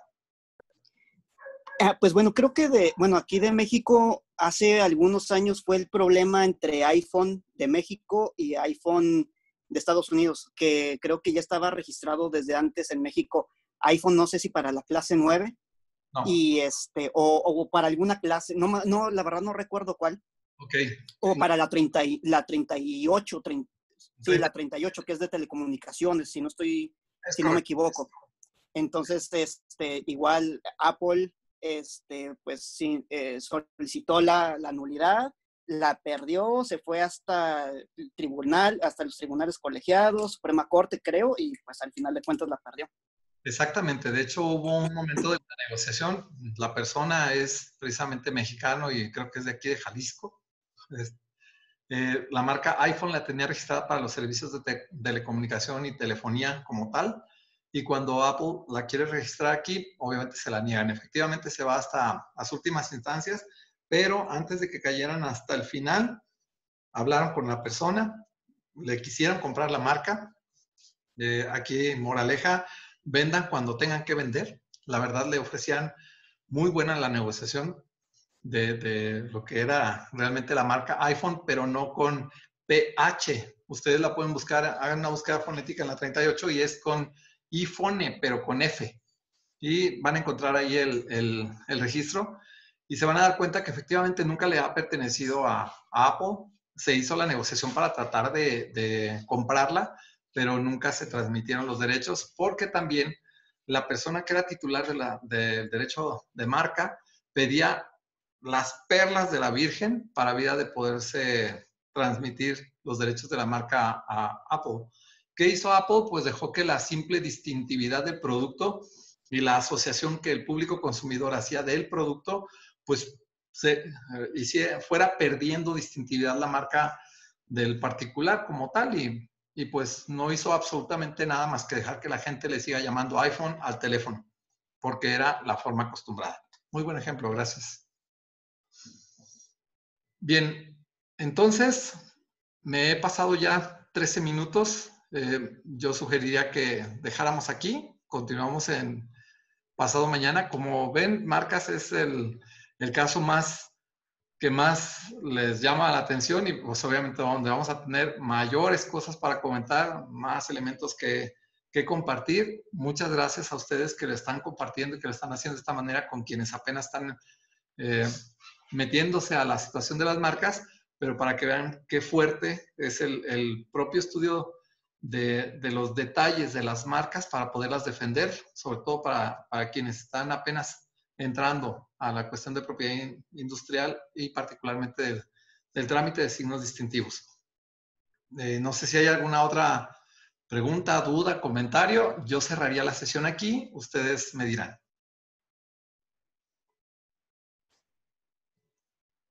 ¿Estamos bien todos entonces? Ricardo, ¿tú cómo ves?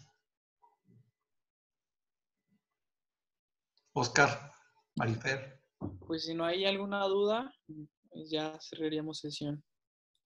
¿Estamos de acuerdo? Entonces voy a dejar de... Ok, entonces lo primero que voy a hacer es dejar de grabar. Creo que